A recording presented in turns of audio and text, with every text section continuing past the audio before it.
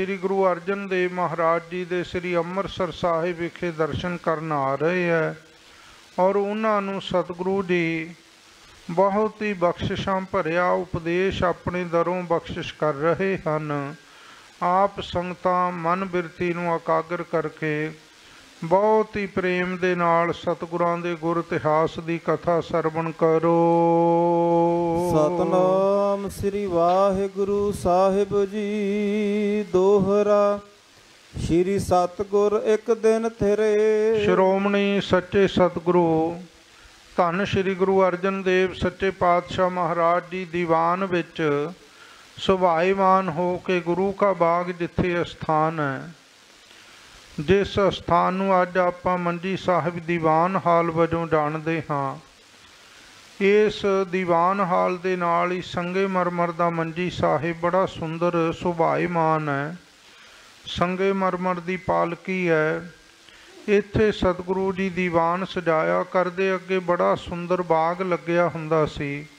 ਸਾਰੀਆਂ ਸੰਗਤਾਂ ਨੇ ਬਾਗ ਵਿੱਚ ਬੈਠ ਕੇ ਸਤਿਗੁਰੂ ਜੀ ਦੇ ਮੁਖਾਰ ਬਿੰਦ ਤੋਂ ਆਪ ਪਰਮ ਪਵਿੱਤਰ ਉਪਦੇਸ਼ ਸਰਵਣ ਕਰਿਆ ਕਰਦੀਆਂ ਸਨ। ਇਸ ਅਸਥਾਨ ਨੂੰ ਪਹਿਲਾਂ ਗੁਰੂ ਕਾ ਬਾਗ ਆਖਿਆ ਜਾਂਦਾ ਸੀ।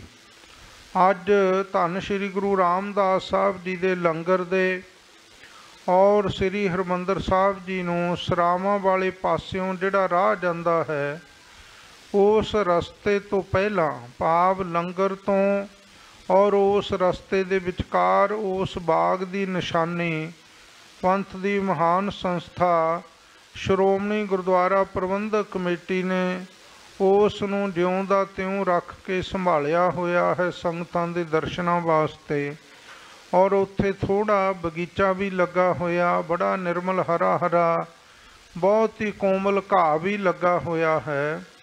ਉਹ ਸਾਰੀ ਗੁਰੂ ਕੇ ਬਾਗ ਦੀ ਨਿਸ਼ਾਨੀ ਵਜੋਂ ਇਹ ਜਗ੍ਹਾ ਅੱਜ ਵੀ ਇਤਿਹਾਸਕ ਤੌਰ ਤੇ ਸੰਭਾਲੀ ਹੋਈ ਹੈ ਔਰ ਆਉਣ ਵਾਲੇ ਸਮੇਂ ਵਿੱਚ ਵੀ ਇਹ ਸੰਭਾਲੀ ਰਹਿਣੀ ਚਾਹੀਦੀ ਹੈ ਤਾਂ ਕਿ ਸੰਗਤਾਂ ਨੂੰ ਇਸ ਗੱਲ ਦੀ ਗਿਆਤ ਰਹੇ ਕਿ ਗੁਰੂ ਕੇ ਬਾਗ ਨੂੰ ਕਿਹੜੀ ਜਗ੍ਹਾ ਵਜੋਂ ਸੰਗਤਾਂ ਜਾਣਦੀਆਂ ਹਨ, ਕਿ ਗੁਰੂ ਕਾ ਬਾਗ ਕਿਹੜਾ ਸੀ, ਜਿੱਥੇ ਬੈਠ ਕੇ ਸਤਿਗੁਰੂ ਦੀ ਸੰਗਤਾਂ ਨੂੰ ਦੀਦਾਰ ਦਿਆ ਕਰਦੇ ਸਨ।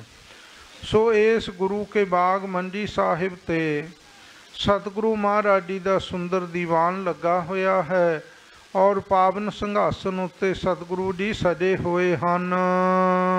ਸੰਗਤ ਦਰਸਤ ਆਏ। ਚਾਰੇ ਦਿਸ਼ਾਵਾਂ ਤੋਂ ਉੱਤਰ ਦੱਖਣ ਪੂਰਬ ਤੋਂ ਸੰਗਤਾਂ ਆ ਕੇ ਹਜੂਰ ਦੇ ਦਰਸ਼ਨ ਕਰ ਰਹੀਆਂ ਹਨ। ਸਿੱਖ ਤਲੋਕਾ ਨਾਮ ਜਿਸ। ਇਹ ਭਾਈ ਤਲੋਕਾ ਸ੍ਰੀ ਗੁਰੂ ਅਰਜਨ ਦੇਵ ਜੀ ਦਾ ਮਹਾਨ ਸਿੱਖ ਹੈ। ਇਸ ਦਾ ਨਾਮ ਭਾਈ ਤਲੋਕਾ ਹੈ। ਇਹ ਸਤਿਗੁਰੂ ਜੀ ਦੇ ਦਰਸ਼ਨ ਕਰਨ ਵਾਸਤੇ ਗਜਨੀ ਤੋਂ ਬੜੀ ਦੂਰੋਂ ਚੱਲ ਕੇ ਆਇਆ ਸੰਗਤ ਜੀ। ਗਜਨੀ ਦਾ ਨਾਮ ਤਾਂ ਤੁਸੀਂ ਸਾਰਿਆਂ ਨੇ ਸੁਣਿਆ ਹੈ ਕਿ ਗਜਨੀ ਦੇ ਵਿੱਚ ਹਿੰਦ ਦੀਆਂ ਲੋਕਾਂ ਸ੍ਰੀ ਗੁਰੂ ਅਰਜਨ ਦੇਵ ਜੀ ਦਾ ਮਹਾਨ ਕੈਦ ਕਰਕੇ ਲੈ ਕੇ ਜਾਂਦੇ ਤਾਂ ਗਜਨੀ ਦੇ ਬਾਜ਼ਾਰਾਂ ਵਿੱਚ ਟਕੇ ਟਕੇ ਨਾਲ ਇੱਕ ਇੱਕ ਸੁੰਦਰ ਲੜਕੀ ਨੂੰ ਵੇਚ ਦਿੰਦੇ ਸਨ। ਮੁਗਲਾਂ ਕੋਲੇ ਪਠਾਣਾ ਕੋਲੇ। ਸੋ ਬੜਾ ਜ਼ੁਲਮ ਹੋਇਆ ਸਾਧ ਸੰਗ ਜੀ ਇਸ ਧਰਤੀ ਦੇ ਉੱਤੇ।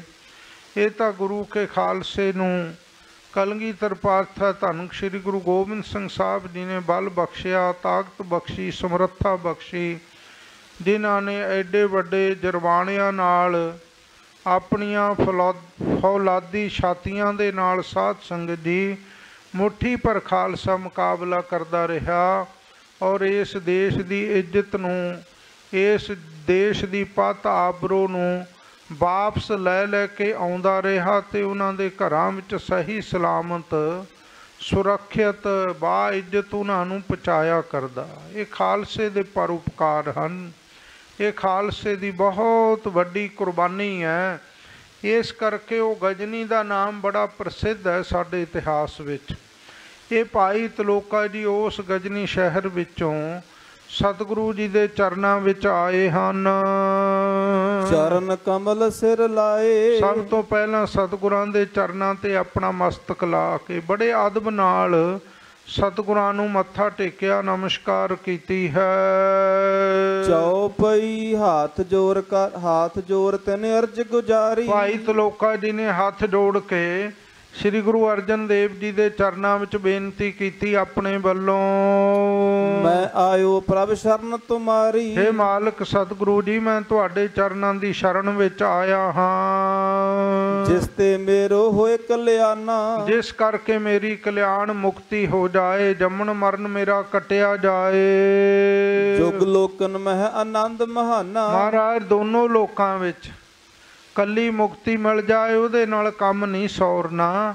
ਮਹਾਰਾਜ, ਪਰਲੋਕ ਵਿੱਚ ਵੀ ਮੇਰੀ ਰੱਖਿਆ ਕਰਿਓ, ਪਰਲੋਕ ਵਿੱਚ ਵੀ ਮੇਰਾ ਜੰਮਣ ਮਰਨ ਮੇਟ ਕੇ, ਜਮਾ ਤੋਂ ਹੱਥ ਦੇ ਕੇ ਮੇਰੀ ਰੱਖਿਆ ਕਰੋ, ਮੈਨੂੰ ਮੁਕਤੀ ਦਾ ਆਨੰਦ ਬਖਸ਼ੋ। ਤੇ ਐਸ ਲੋਕ ਵਿੱਚ ਵੀ ਮੈਨੂੰ ਸਾਰੇ ਸੁੱਖ ਬਖਸ਼ੋ। ਜੋ ਸੁੱਖ ਨਿਤ ਦੇ ਵਰਤੋਂ ਦੇ ਵਿੱਚ ਆਉਣ ਵਾਲੇ ਹੈ ਇਸ ਕਰਕੇ ਇਹਨਾਂ ਸੁਖਾਂ ਦੀ ਵੀ ਦੋਨੋਂ ਲੋਕਾਂ ਦੇ ਸੁਖ ਬਖਸ਼ਿਸ਼ ਕਰੋ। ਅਸ ਮੁਝ ਕੋ ਦੀਜੈ ਉਪਦੇਸ਼। ਇਹੋ ਜਿਹਾ ਉਪਦੇਸ਼ ਦਿਓ ਕਿ ਦੋਨਾਂ ਲੋਕਾਂ ਵਿੱਚ ਹੀ ਮੈਨੂੰ ਆਨੰਦ ਪ੍ਰਾਪਤ ਹੋਵੇ ਸੁਖ ਮਿਲੇ। ਸੁਨਤ ਕਮਾਵਤ ਨਸੈ ਕਲੇਸ਼। ਜਿਸ ਉਪਦੇਸ਼ ਨੂੰ ਸੁਣ ਕੇ ਫੇਰ ਅੱਗੇ ਕਮਾ ਕੇ ਧਾਰਨ ਕਰਕੇ ਮੇਰੇ ਸਾਰੇ ਨਾਸ ਹੋ ਜਾਣ ਜਿੰਨੇ ਵੀ ਪਾਪ ਹਨ। ਜਿੰਨੇ ਵੀ ਦੁੱਖ ਸੰਕਟ ਹਨ ਸਾਰਿਆਂ ਦਾ ਨਾਸ ਹੋ ਜਾਏ। ਸੁਨ ਸਤਗੁਰ ਕਰ ਦਇਆ ਸੁਨਾਈ ਉਸ ਸਮੇਂ ਸਤਿਗੁਰੂ ਜੀ ਨੇ ਸੁਣ ਕਰਕੇ ਆਪਣੇ ਪਾਵਨ ਪਵਿੱਤਰ ਮੁਖਾਰ ਬਿੰਦ ਤੋਂ ਦਿਆਲਤਾ ਕਰਕੇ ਬਖਸ਼ਿਸ਼ ਦੇ ਘਰ ਵਿੱਚ ਆ ਕੇ ਭਾਈ ਤਲੋਕਾ ਜੀ ਨੂੰ ਉਪਦੇਸ਼ ਦਿੱਤਾ।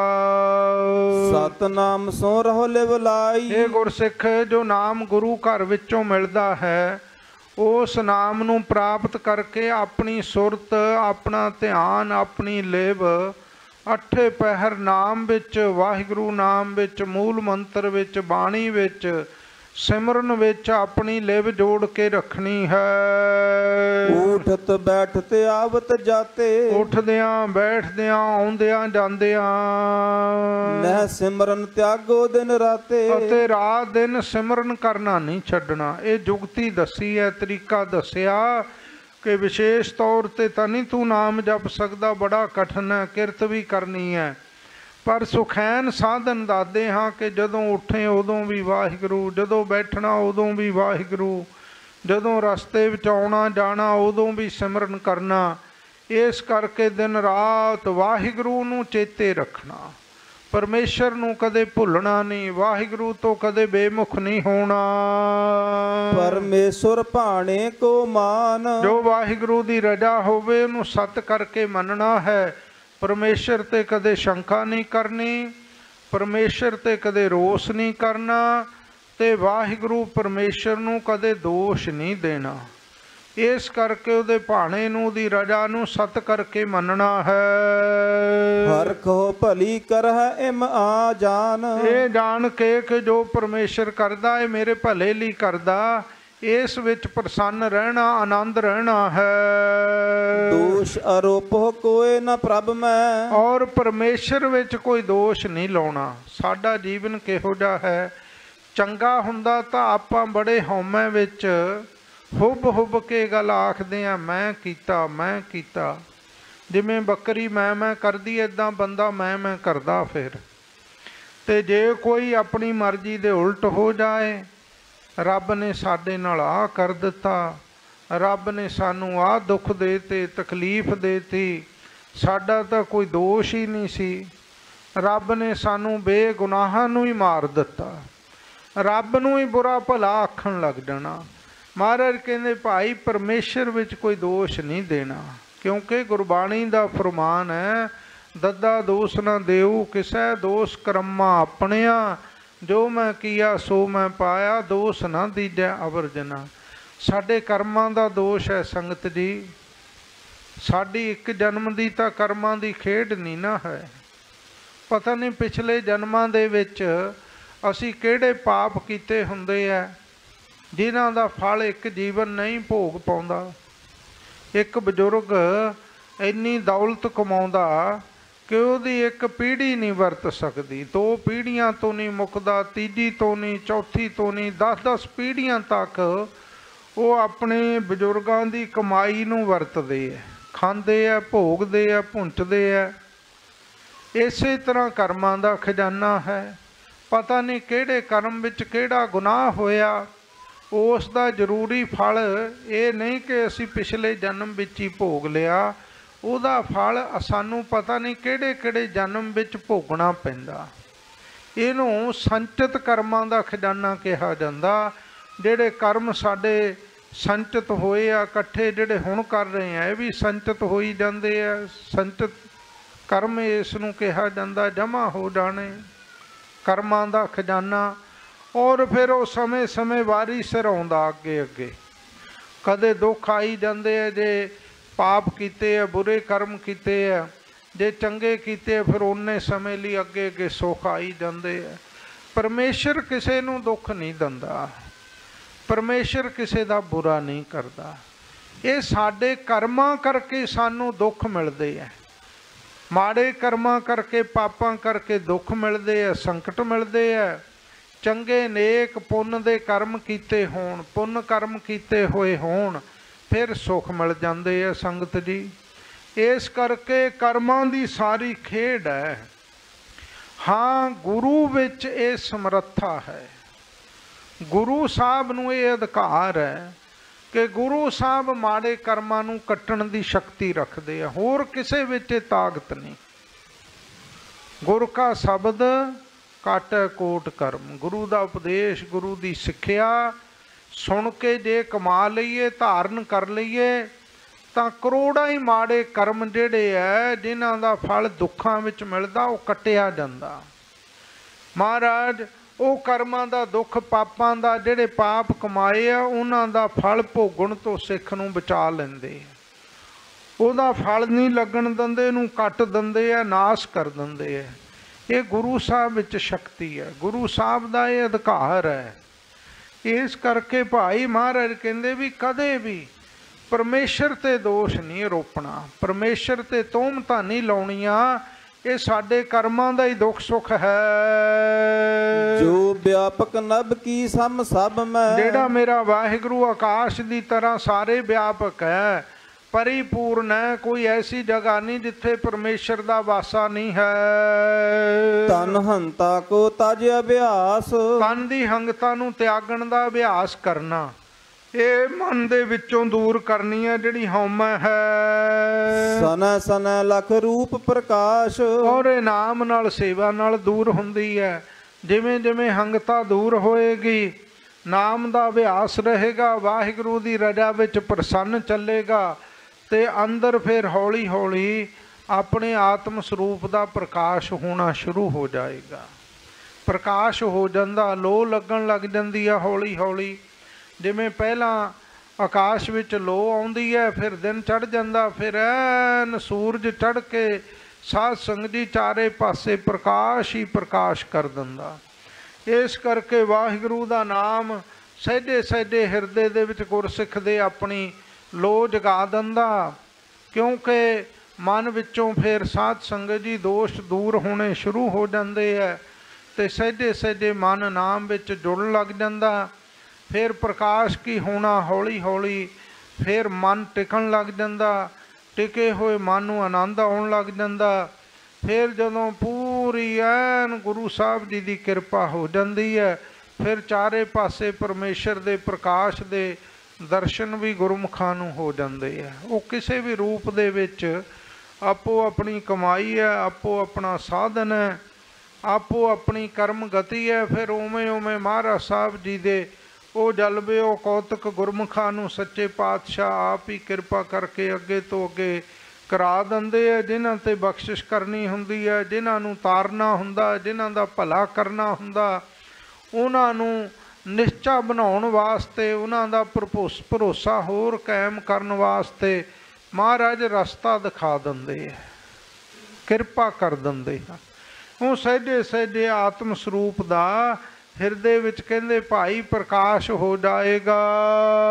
ਰਹੋ ਅਹਿੰਸਕਾਰ ਸਭ ਪਰ ਦਇਆ। ਔਰ ਅਗਲਾ ਬਚਨ ਮਹਾਰਾਜ ਕਹਿੰਦੇ ਭਾਈ ਅਹਿੰਸਕ ਜੀਵਨ ਹਿੰਸਾ ਨਹੀਂ ਕਰਨੀ ਜੀਵ ਨਹੀਂ ਮਾਰਨੇ ਕਦੇ ਭੁੱਲ ਕੇ ਵੀ। ਦਇਆ ਵਾਲਾ ਗੁਣ ਧਾਰਨ ਕਰਕੇ ਰੱਖਣਾ, ਪਾਪੀ ਨਹੀਂ ਬਣਨਾ, ਭਾਵ ਜੀਵਾਂ ਦਾ ਕਤਲ ਨਹੀਂ ਕਰਨਾ, ਜੀਵ ਨਹੀਂ ਮਾਰਨੇ, ਜੀਵਾਂ ਨੂੰ ਮਾਰ-ਮਾਰ ਕੇ ਵੱਢ-ਵੱਢ ਕੇ ਨਹੀਂ ਖਾਣਾ, ਅਹਿੰਸਕ ਜੀਵਨ। ਭਾਵ ਆਪਣੇ ਜੀਵਨ ਦੇ ਵਿੱਚ ਜੀਵ ਘਾਤ ਨਹੀਂ ਕਦੇ ਵਾਸਤੇ ਕਰਨਾ। ਔਰ ਸਾਰਿਆਂ ਤੇ ਦਇਆ ਕਰਨੀ ਹੈ, ਭਾਵੇਂ ਕੋਈ ਜੀਵ ਹੈ, ਭਾਵੇਂ ਕੋਈ ਮਨੁੱਖ ਹੈ, ਸਭ ਉੱਤੇ ਦਇਆ ਰੱਖਣੀ ਹੈ ਮਨ ਵਿੱਚ। ਕਿਸ ਕੋ ਨਹੀਂ ਦੁਖਾਵੋ ਹੋਈਆ? ਔਰ ਕਿਸੇ ਦਾ ਦਿਲ ਵੀ ਨਹੀਂ ਦਿਖਾਉਣਾ, ਸਾਰਿਆਂ ਦੇ ਦਿਲ ਵਿੱਚ ਪ੍ਰੇਮ ਬਣਿਆ ਰਹੇ, ਹੈ ਬਹੁਤ ਕਠਿਨ ਹੈ, ਪਰ ਕਿਸੇ ਦਾ ਦਿਲ ਵੀ ਨਹੀਂ ਦਿਖਾਉਣਾ। ਤਿੰਨ ਤਰ੍ਹਾਂ ਦੀ ਹਿੰਸਾ, ਸਾਧ ਸੰਗਤ ਜੀ, ਇੱਕ ਤਾਂ ਤਨ ਕਰਕੇ ਕਿਸੇ ਜੀਵ ਨੂੰ ਮਾਰਨਾ, ਇਹ ਵੀ ਬਹੁਤ ਵੱਡੀ ਹਿੰਸਾ ਹੈ। ਦੂਜਾ ਮਨ ਕਰਕੇ ਕਿਸੇ ਦਾ ਬੁਰਾ ਚਿਤਵਣਾ ਮਨ ਵਿੱਚ ਬੁਰਾ ਖਿਆਲ ਲੈ ਆਉਣਾ ਬੁਰਾ ਹੀ ਸੋਚੀ ਜਾਣਾ ਇਹ ਮਨ ਦੀ ਹਿੰਸਾ ਹੈ, ਮਨ ਦਾ ਪਾਪ ਹੈ। ਔਰ ਤੀਜੀ ਬਾਣੀ ਦੀ ਹੰਸ- ਹਿੰਸਾ ਹੈ। ਕਿਸੇ ਨੂੰ ਕੋੜੇ ਬਚਨ ਬੋਲ ਕੇ ਅਗਲੇ ਦਾ ਹਿਰਦਾ ਦੁਖਾ ਦੇਣਾ। ਸਭਨਾ ਮਨ ਮਾਨਕ ਠਾਹਣ ਮੂਲ ਮਚਾਂਗਵਾ, ਜੇ ਤੋ ਪਿਰਿਆ ਦੀ ਸਿੱਖ ਹਿਆਉ ਨਾ ਠਾਹੇ ਕਹੀਦਾ। ਧੰਨ ਬਾਬਾ ਫਰੀਦ ਸਾਹਿਬ ਜੀ ਕਹਿੰਦੇ ਐ ਬੰਦੇ ਜੇ ਤੈਨੂੰ ਪਿਆਰੇ ਪ੍ਰਮਾਤਮਾ ਨੂੰ ਮਿਲਣ ਦੀ ਸਿੱਖ ਇੱਛਾ ਨਾ ਬਹੁਤ ਤੀਬਰ ਤੇਰੀ ਚਾਹਨਾ ਹੈ ਤਾਂ ਇਹੋ ਜਿਹਾ ਕੌੜਾ ਬੋਲ ਨਾ ਕਦੇ ਬੋਲੀ ਕਿਸੇ ਦਾ ਦਿਲ ਨਾ ਦੁਖਾਈ ਕਦੇ ਵਾਸਤੇ ਵੀ।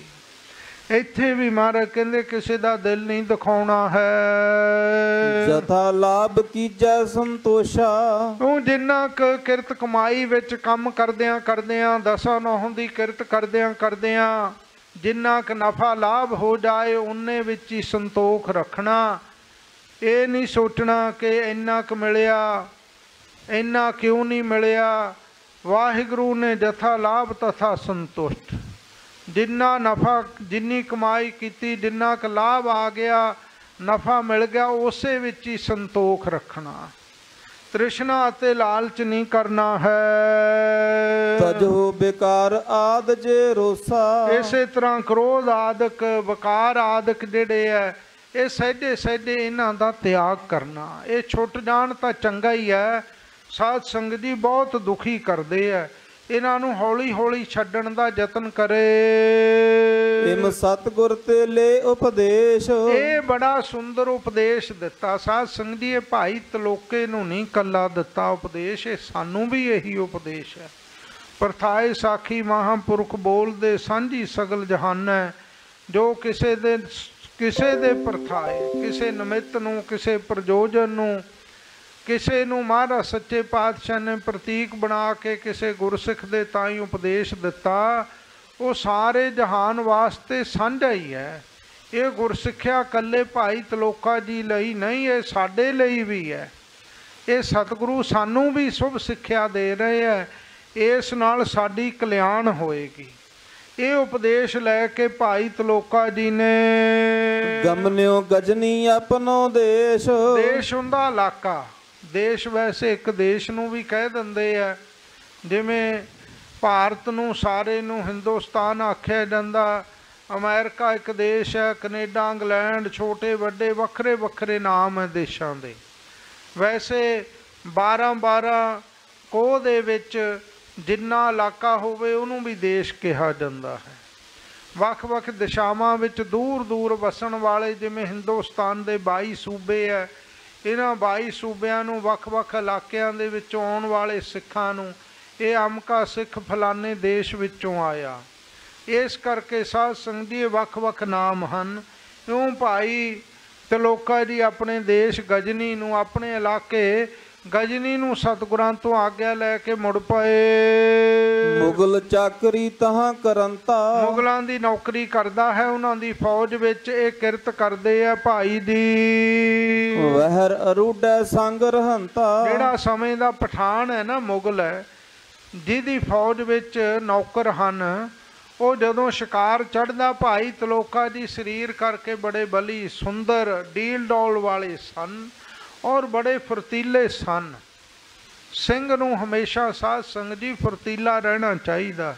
ਐਵੇਂ ਢਿੱਲੜ ਜਾਈ ਤੁਰਿਆ ਫਿਰੇ ਕਦੇ ਇੱਧਰ ਨੂੰ ਡਿੱਗ ਪਿਆ, ਕਦੇ ਉੱਧਰ ਨੂੰ ਡਿੱਗ ਪਿਆ, ਨਾ ਸੇਵਾ ਕਰ ਸਕੇ, ਨਾ ਆਪਣਾ ਆਪ ਹੀ ਸੰਭਾਲ ਸਕੇ, ਨਾ ਹੀ ਸੁਚੇਤ ਰਵੇ।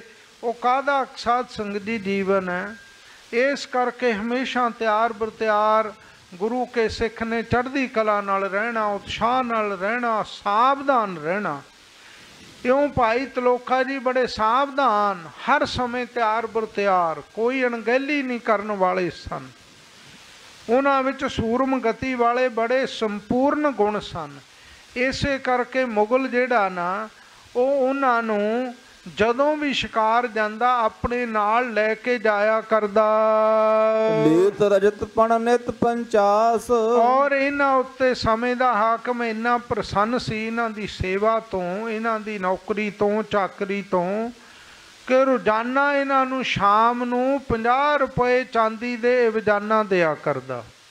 ਵੈਸੇ ਸਿੱਖਾਂ ਦੀ ਭਗਤ ਮਾਲਾ ਵਿੱਚ ਲਿਖਿਆ ਕਿ 5 ਰੁਪਏ ਰੋਜ਼ ਦੇ ਇਹਨਾਂ ਨੂੰ ਨੌਕਰੀ ਮਿਲਦੀ ਸੀ। ਪਰ ਇੱਥੇ ਭਾਈ ਸਾਹਿਬ ਨੇ ਦੱਸਿਆ ਵੀ 50 ਰੁਪਏ ਰੋਜ਼ਾਨਾ ਦੇ ਇਹਨਾਂ ਨੂੰ ਦਿੱਤੇ ਜਾਂਦੇ ਸਨ ਸਰਕਾਰ ਦੇ ਖਜ਼ਾਨੇ ਵਿੱਚੋਂ। ਆਯੁਧ ਧਰੇ ਰਹਿਤ ਤਿਸ ਪਾਸ ਔਰ ਪੂਰੇ ਸ਼ਸਤਰ ਆਪਣੇ ਕੋਲੇ ਸਾਰੇ ਸਾਂਭ ਕੇ ਰੱਖਦਾ। ਔਰ ਜਿਹੜੇ ਸ਼ਸਤਰ ਖਾਸ ਮੁਗਲ ਸਰਦਾਰ ਦੇ ਵੀ ਹੁੰਦੇ ਸਨ ਨਾ ਚਲਾਉਣ ਵਾਲੇ ਜਾਂ ਪਹਿਨਣ ਵਾਲੇ ਉਹ ਵੀ ਮੁਗਲ ਸਮੇਂ ਦਾ ਹਾਕਮ ਹੋਰ ਕਿਸੇ ਨੂੰ ਨਹੀਂ ਪਕੜਾਉਂਦਾ। ਉਹ ਵੀ ਇਹਨਾਂ ਦੇ ਕੋਲੇ ਇਹਨਾਂ ਨੂੰ ਦੇ ਕੇ ਰੱਖਦਾ ਇਹ ਬਹੁਤ ਉਹਦੇ ਇਤਵਾਰਯੋਗ ਉਸ ਦੇ ਸਿਪਾਹੀ ਸਨ। ਇਸ ਕਰਕੇ ਸਾਰੇ ਸ਼ਸਤਰ ਇਹਨਾਂ ਦੇ ਕੋਲੇ ਹੀ ਆਪਣਾ ਖਜ਼ਾਨਾ ਸ਼ਸਤਰਾਂ ਦਾ ਸਿਲੇਖਾਨਾ ਸੰਭਾਲ ਕੇ ਰੱਖਦਾ ਹਮੇਸ਼ਾ। ਛੜਿਓ ਮੁਗਲ ਇੱਕ ਦਿਉਸ ਸ਼ਿਕਾਰ। ਮੁਗਲ ਇੱਕ ਦਿਨ ਸ਼ਿਕਾਰ ਕਰਨ ਵਾਸਤੇ ਜੰਗਲ ਨੂੰ ਚੜਿਆ ਹੈ। ਸੰਗਤ ਲੋਕਾ ਅਸ ਅਸਵਾਰ। ਭਾਈ ਤਲੋਕਾ ਜੀ ਵੀ ਨਾਲ ਘੋੜੇ ਤੇ ਚੜ ਕੇ ਮੁਗਲ ਦੇ ਤੁਰੇ ਹਨ ਸ਼ਿਕਾਰ ਦੇ ਮਗਰ। ਮੁਗਲ ਅਗਾਰੀ ਮ੍ਰਿਗਨ ਪਲਾਈ। ਜਦੋਂ ਮੁਗਲ ਘਣੇ ਸੰਘਣੇ ਜੰਗਲ ਵੱਲ ਚਲੇ ਗਿਆ ਨਾ ਤਾਂ ਸਾਧ ਸੰਗਤ ਜੀ ਅੱਗੋਂ ਮਿਰਗਾਂ ਦੀ ਡਾਰ ਜਿਹੜੀ ਜੰਗਲ ਵਿੱਚ ਘਾਹ ਚਰਦੀ ਸੀ ਉਹ ਮੁਗਲਾਂ ਨੂੰ ਵੇਖ ਕੇ ਸ਼ਸਤਰਧਾਰੀ ਇਹਨਾਂ ਸੂਰਮਿਆਂ ਨੂੰ ਵੇਖ ਕੇ ਮਿਰਗਾਂ ਦੀ ਡਰ ਡਰ ਕੇ ਅੱਗੇ ਭੱਜ ਤੁਰੀ ਹੈ। ਪੀਛੇ ਲਾਗੇ ਤੁਰੰਗ ਤਵਾਈ। ਇਉਂ ਮੁਗਲ ਨੇ ਵੀ ਭਾਈ ਤਲੋਕੇ ਨੇ ਵੀ ਇਹਨਾਂ ਦੇ ਨਾਲ ਦਿਆਂ ਨੇ ਵੀ ਆਪਣੇ ਘੋੜੇ ਮਗਰੀ ਦੁੜਾ ਲਏ ਮਿਰਗਾਂ ਦਾ ਸ਼ਿਕਾਰ ਕਰਨ ਵਾਸਤੇ। ਜਬਤ ਲੋਕੇ ਕੀਨ ਸਨੇਰ। ਜਦੋਂ ਹੋਰ ਤਾਂ ਸਾਰੇ ਪਿੱਛੇ ਰਹਿ ਗਏ ਸ਼ਿਕਾਰ ਕਰਨ ਦੇ ਵਕਤ ਭਾਈ ਤਲੋਕਾ ਜਦੋਂ ਅੱਗੇ ਘੋੜਾ ਦੜਾ ਕੇ ਗਿਆ ਨਾ ਤਾਂ ਇੱਕ ਸ਼ਿਕਾਰ ਕਰਨ ਵਾਲੇ ਜੀਵ ਦੇ ਜਦੋਂ ਨੇੜੇ ਢੁੱਕਿਆ ਭਾਈ ਤਲੋਕਾ। ਘੋਰਾ ਮਿਲਿਓ ਨਿਕਟ ਤਬ ਹੇਰ ਵੇਖਿਆ ਮੇਰੇ ਸ਼ਿਕਾਰ ਦੇ ਨੇੜੇ ਘੋੜਾ ਪਹੁੰਚ ਗਿਆ ਕੋਲੇ ਬਿਲਕੁਲ ਨਜ਼ਦੀਕ ਅੱਪੜ ਗਿਆ ਹੈ। ਖੈਂਚ ਖੜਗ ਕੋ ਤਾਂ ਪਰ ਝਾਰਾ। ਵੇਖਿਆ ਕਿ ਸ਼ਿਕਾਰ ਮੇਰੀ ਮੇਰੇ ਨਿਸ਼ਾਨੇ ਦੇ ਬਿਲਕੁਲ ਅੱਗੇ ਹੈ। ਭਾ ਮੇਰੇ ਨਿਸ਼ਾਨੇ ਤੋਂ ਹੁਣ ਚੁੱਕ ਨਹੀਂ ਸਕਦਾ, ਕਿਤੇ ਜਾ ਨਹੀਂ ਸਕਦਾ, ਭੱਜ ਨਹੀਂ ਸਕਦਾ, ਮੇਰੀ ਮਾਰ ਥੱਲੇ ਹੈ। ਉਸੇ ਵਕਤ ਮਿਆਨ ਵਿੱਚੋਂ ਸਾਧ ਸੰਗਤ ਜੀ ਖੜਗ ਖੜਗ ਸ਼ਸਤਰਾਂ ਦਾ ਜਿਨ੍ਹਾਂ ਸਿੰਘਾਂ ਨੂੰ ਗਿਆਨ ਹੈ, ਉਹਨਾਂ ਨੂੰ ਪਤਾ ਖੜਗ ਦਾ ਜਿਹੜਾ ਫਲ ਚੌੜਾ ਤੇ ਬਹੁਤ ਤਿੱਖਾ ਤੇ ਬੜਾ ਸੁੰਦਰ ਹੋਇਆ ਕਰਦਾ। ਕਿਉਂ? ਹਰ ਸਮੇਂ ਇੱਕੋ ਸ਼ਸਤਰ ਦੀ ਵਰਤੋਂ ਨਹੀਂ, ਜੰਗਾਂ ਯੁੱਧਾਂ ਵਿੱਚ ਹੁੰਦੀ, ਵੱਖ-ਵੱਖ ਸ਼ਸਤਰਾਂ ਦੀ ਵਰਤੋਂ ਕੀਤੀ ਜਾਂਦੀ ਹੈ। ਸੋ ਉਸ ਵਕਤ ਭਾਈ ਤਲੋਕੇ ਨੇ ਬੜਾ ਤਿੱਖਾ ਖੜਗ, ਇਹਨੂੰ ਤਲਵਾਰ ਨਹੀਂ ਆਪਾਂ ਕਹਿ ਸਕਦੇ। ਸ੍ਰੀ ਸਾਹਿਬ ਨਹੀਂ ਕਹਿ ਸਕਦੇ, ਮਿਆਨ ਵਿੱਚੋਂ ਭਾਈ ਤਲੋਕਾ ਜੀ ਨੇ ਆਪਣਾ ਤਿੱਖਾ ਖੜਗ ਕੱਢਿਆ ਔਰ ਐਨ ਮਾਰ ਥੱਲੇ ਵੇਖ ਕੇ ਸ਼ਿਕਾਰ ਨੂੰ ਉਸੇ ਵਕਤ ਭਾਈ ਤਲੋਕਾ ਜੀ ਨੇ ਜ਼ੋਰ ਦੀ ਆਪਣਾ ਸ਼ਸਤਰ ਖੜਗ ਸ਼ਿਕਾਰ ਦੇ ਉੱਤੇ ਚਲਾਇਆ। ਮ੍ਰਿਗਨੀ ਗਰਭ ਦੁੱਧਾ ਕਰ ਡਾਰਾ। ਇੰਨਾ ਬਲੀ ਸੀ ਭਾਈ ਤਲੋਕਾ ਜੀ ਦੇ ਡੌਲਿਆਂ ਵਿੱਚ ਇੰਨਾ ਬਲ ਸੀ ਇੰਨੀ ਤਾਕਤ ਸੀ। ਇੱਕੋ ਵਾਰ ਕਰਕੇ ਸਾਧ ਸੰਗਤ ਜੀ ਜਿਹੜੀ ਮਿਰਗਣੀ ਹਰਨੀ ਸੀ ਨਾ ਹਰਨੀ ਉਹਦੇ ਦੋ ਟੋਟੇ ਕਰ ਦਿੱਤੇ। ਇੰਨਾ ਬਲ ਸੀ ਸਾਧ ਸੰਗਤ ਜੀ ਸਰੀਰ ਦੇ ਵਿੱਚ। ਧੌਣ ਕੋਲੋਂ ਨਹੀਂ ਐਨ ਸਰੀਰ ਦੇ ਵਿਚਕਾਰੋਂ। ਦੋ ਟੋਟੇ ਭਾਈ ਸਾਹਿਬ ਨੇ ਕਰ ਦਿੱਤੇ ਇੰਨਾ ਜ਼ੋਰ ਦੀ ਵਾਰ ਮਾਰਿਆ। ਜੁਗ ਅਬਰਕ ਵਿੱਚ ਤੇ ਗਿਰ ਪਰੇ। ਉਹ ਜਿਹੜੀ ਹਿਰਨੀ ਸੀ ਸਾਧ ਸੰਗਤ ਜੀ ਉਸ ਦੇ ਗਰਭ ਵਿੱਚ ਦੋ ਬੱਚੇ ਸਨ। ਉਸੇ ਵਕਤ ਉਹ ਦੋ ਬੱਚੇ ਵਿੱਚੋਂ ਨਿਕਲ ਕੇ ਧਰਤੀ ਤੇ ਡਿੱਗ ਪਏ ਉਸ ਦੇ ਪੇਟ ਵਿੱਚੋਂ। ਕਿਤਕ ਕਾਲ ਮੈਂ ਤਰਫਤ ਮਰੇ। ਉਹ ਜਦੋਂ ਮਾਂ ਦਾ ਸ਼ਿਕਾਰ ਹੋ ਗਿਆ ਦੋ ਟੋਟੇ ਹੋ ਗਏ ਤਾਂ ਬੱਚੇ ਵੀ ਥੋੜੇ ਸਮੇਂ ਵਿੱਚ ਤੜਫ ਤੜਫ ਕੇ ਭਾਈ ਤਲੋਕੇ ਦੇ ਵੇਖਦਿਆਂ ਵੇਖਦਿਆਂ ਹੀ ਸਾਹਮਣੇ ਹੀ ਮਰ ਗਏ। ਦੇਖਤ ਲੋਕੇ ਕਰੁਣਾ ਠਾਨੀ। ਭਾਈ ਤਲੋਕੇ ਨੇ ਜਦੋਂ ਵੇਖਿਆ ਨਾ ਮਨ ਵਿੱਚ ਬਹੁਤ ਜ਼ਿਆਦਾ ਦਇਆ ਆਈ। ਤਰਸ ਆਇਆ। ਬਹੁਤ ਪਛਤਾਪ ਹੋਇਆ ਕਿ ਇੱਕ ਤਾਂ ਮਾਂ ਸੀ ਮਿਰਗਣੀ ਸੀ ਹਰਨੀ ਸੀ। ਇੱਕ ਤਾਂ ਉਹ ਮਾਰੀ ਗਈ ਦੋ ਬੱਚੇ ਉਹਦੇ ਮਰ ਗਏ ਵਿੱਚੋਂ ਨਿਕਲ ਕੇ ਪੇਟ ਦੇ। ਇਹ ਵੇਖ ਕੇ ਬਹੁਤ ਹੀ ਮਨ ਵਿੱਚ ਤਰਸ ਆਇਆ ਭਾਈ ਤਲੋਕਾ ਜੀ ਨੂੰ। ਤਿਕ ਤਿਕ ਆਪਣੇ ਕਰਮ ਬਖਾਨੀ। ਇਹੀ ਹੁੰਦਾ ਸਾਧ ਸੰਗਤ ਜੀ ਵਿਚਾਰਵਾਨ ਜਿਹੜੇ ਗੁਰਮੁਖ ਹੁੰਦੇ ਆ ਨਾ ਸੰਗਤ ਕਰਨ ਵਾਲੇ ਨਾਮ ਜਪਣ ਵਾਲੇ ਸੇਵਾ ਕਰਨ ਵਾਲੇ, ਅਸੀਂ ਭੁੱਲਣਹਾਰ ਜੀਵ ਐ, ਸਾਡੇ ਕੋਲੋਂ ਗਲਤੀਆਂ ਕਦਮ ਕਦਮ ਤੇ ਹੁੰਦੀਆਂ।